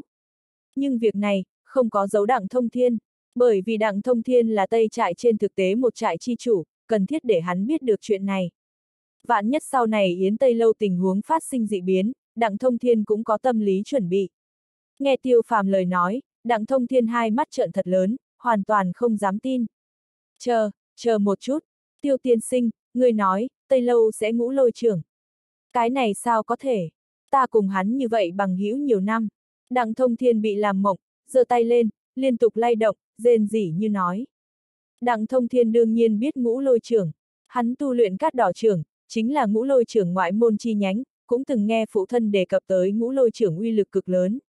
Mấy năm này trong cơ thể hắn dương khí quá thịnh, cho nên dẫn phát các loại khó chịu, Đặng Thông Thiên từng nghĩ tới, nếu như có thể tìm tới ngũ lôi trưởng pháp môn tu luyện, nói không chừng liền có thể âm dương điều hòa, thanh tật xấu của mình chữa lành. Nội gia tu vi xa xa theo không kịp bên ngoài tráng công phu, là cát đỏ trưởng nhất thiếu hụt chí mệnh. Đặng Thông Thiên tuyệt đối không nghĩ tới, một cái tinh thông ngũ lôi trưởng cao thủ, liền sinh hoạt tại bên cạnh mình, nhiều năm trước, bọn hắn còn cùng một chỗ lên núi hái thuốc, Yến Tây Lâu người mang tuyệt kỹ, Đặng Thông Thiên lại không hề có cảm giác. Đột nhiên, muốn hắn lập tức tiếp nhận đồng thời tiêu hóa tình huống này, thật đúng là có không nhỏ độ khó. Về phần Yến Tây Lâu là ma câu tái thế, tại Đặng Thông Thiên mà nói, ngược lại dâu ria. Hắn lại không thích câu cá. Cái gì nói câu thần câu ma câu, trong mắt hắn, đều là hướng lão đầu bịa chuyện, căn bản không cần thiết coi là thật. Người nói lại phải thiên hoa loạn trụy, tả hữu bất quá chỉ là câu cá mà thôi. Đặng thông thiên cũng không sợ chuyện này tuyên dương ra ngoài, dù sao không sẽ có bao nhiêu người sẽ lên cửa hướng ma câu thỉnh giáo.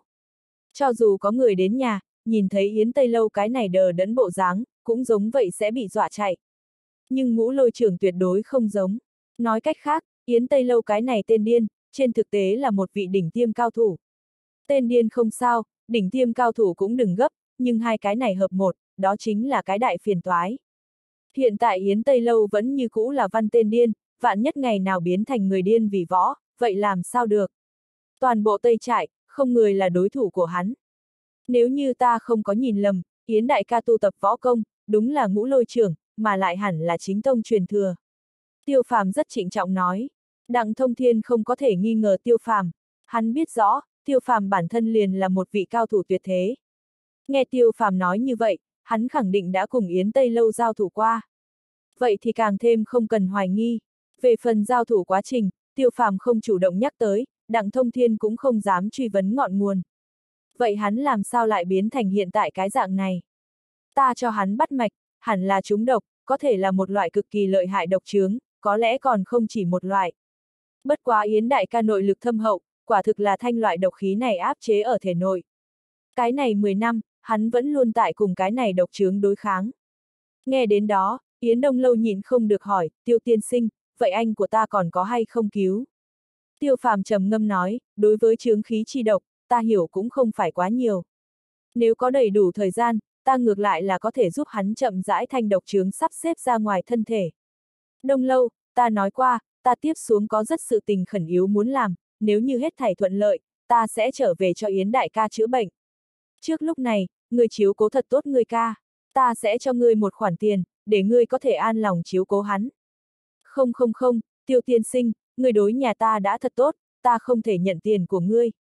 Yến Đông Lâu liên tục khoát tay, luôn miệng nói. Tiêu phàm mỉm cười nói, Đông Lâu, cái này không có gì tốt khách khí. Ta cũng hy vọng ngươi ca có thể tốt, Thanh ngũ lôi trưởng môn tuyệt học này truyền thừa tiếp. Có lẽ tương lai, ta còn có muốn các ngươi giúp thời điểm bận rộn.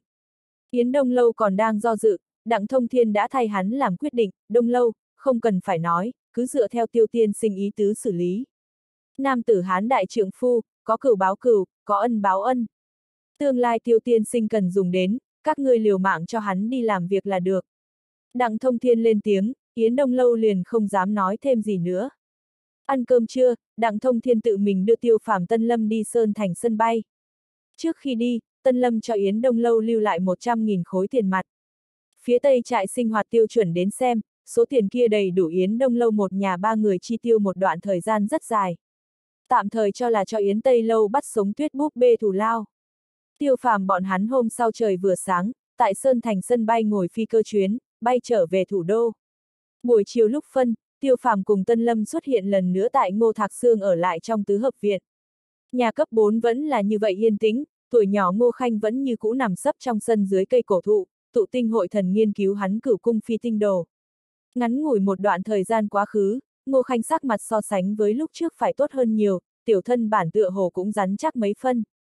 Thất diệu cung luyện chế bảy vương đan, dược hiệu 10 điểm rõ rệt.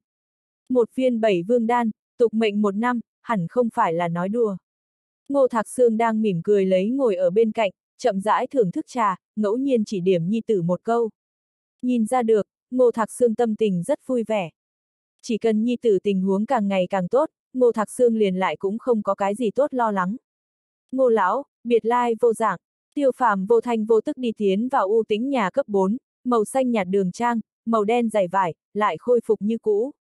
Ngô Thạc Sương mỉm cười đứng dậy đón lấy, Ngô Khanh cũng vứt xuống cửu cung phi tinh đồ, đi theo phụ thân một khối đứng dậy đón khách.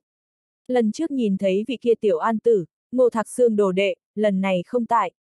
Một hành tiên sinh, tân cô nương, Ngô Thạc Sương ôm quyền, khách khí nói, mặt mang mỉm cười, cũng không có đặc biệt kích động, tựa hồ tiêu phàm cùng tân lâm bái phỏng, đã sớm tại trong dự liệu của hắn.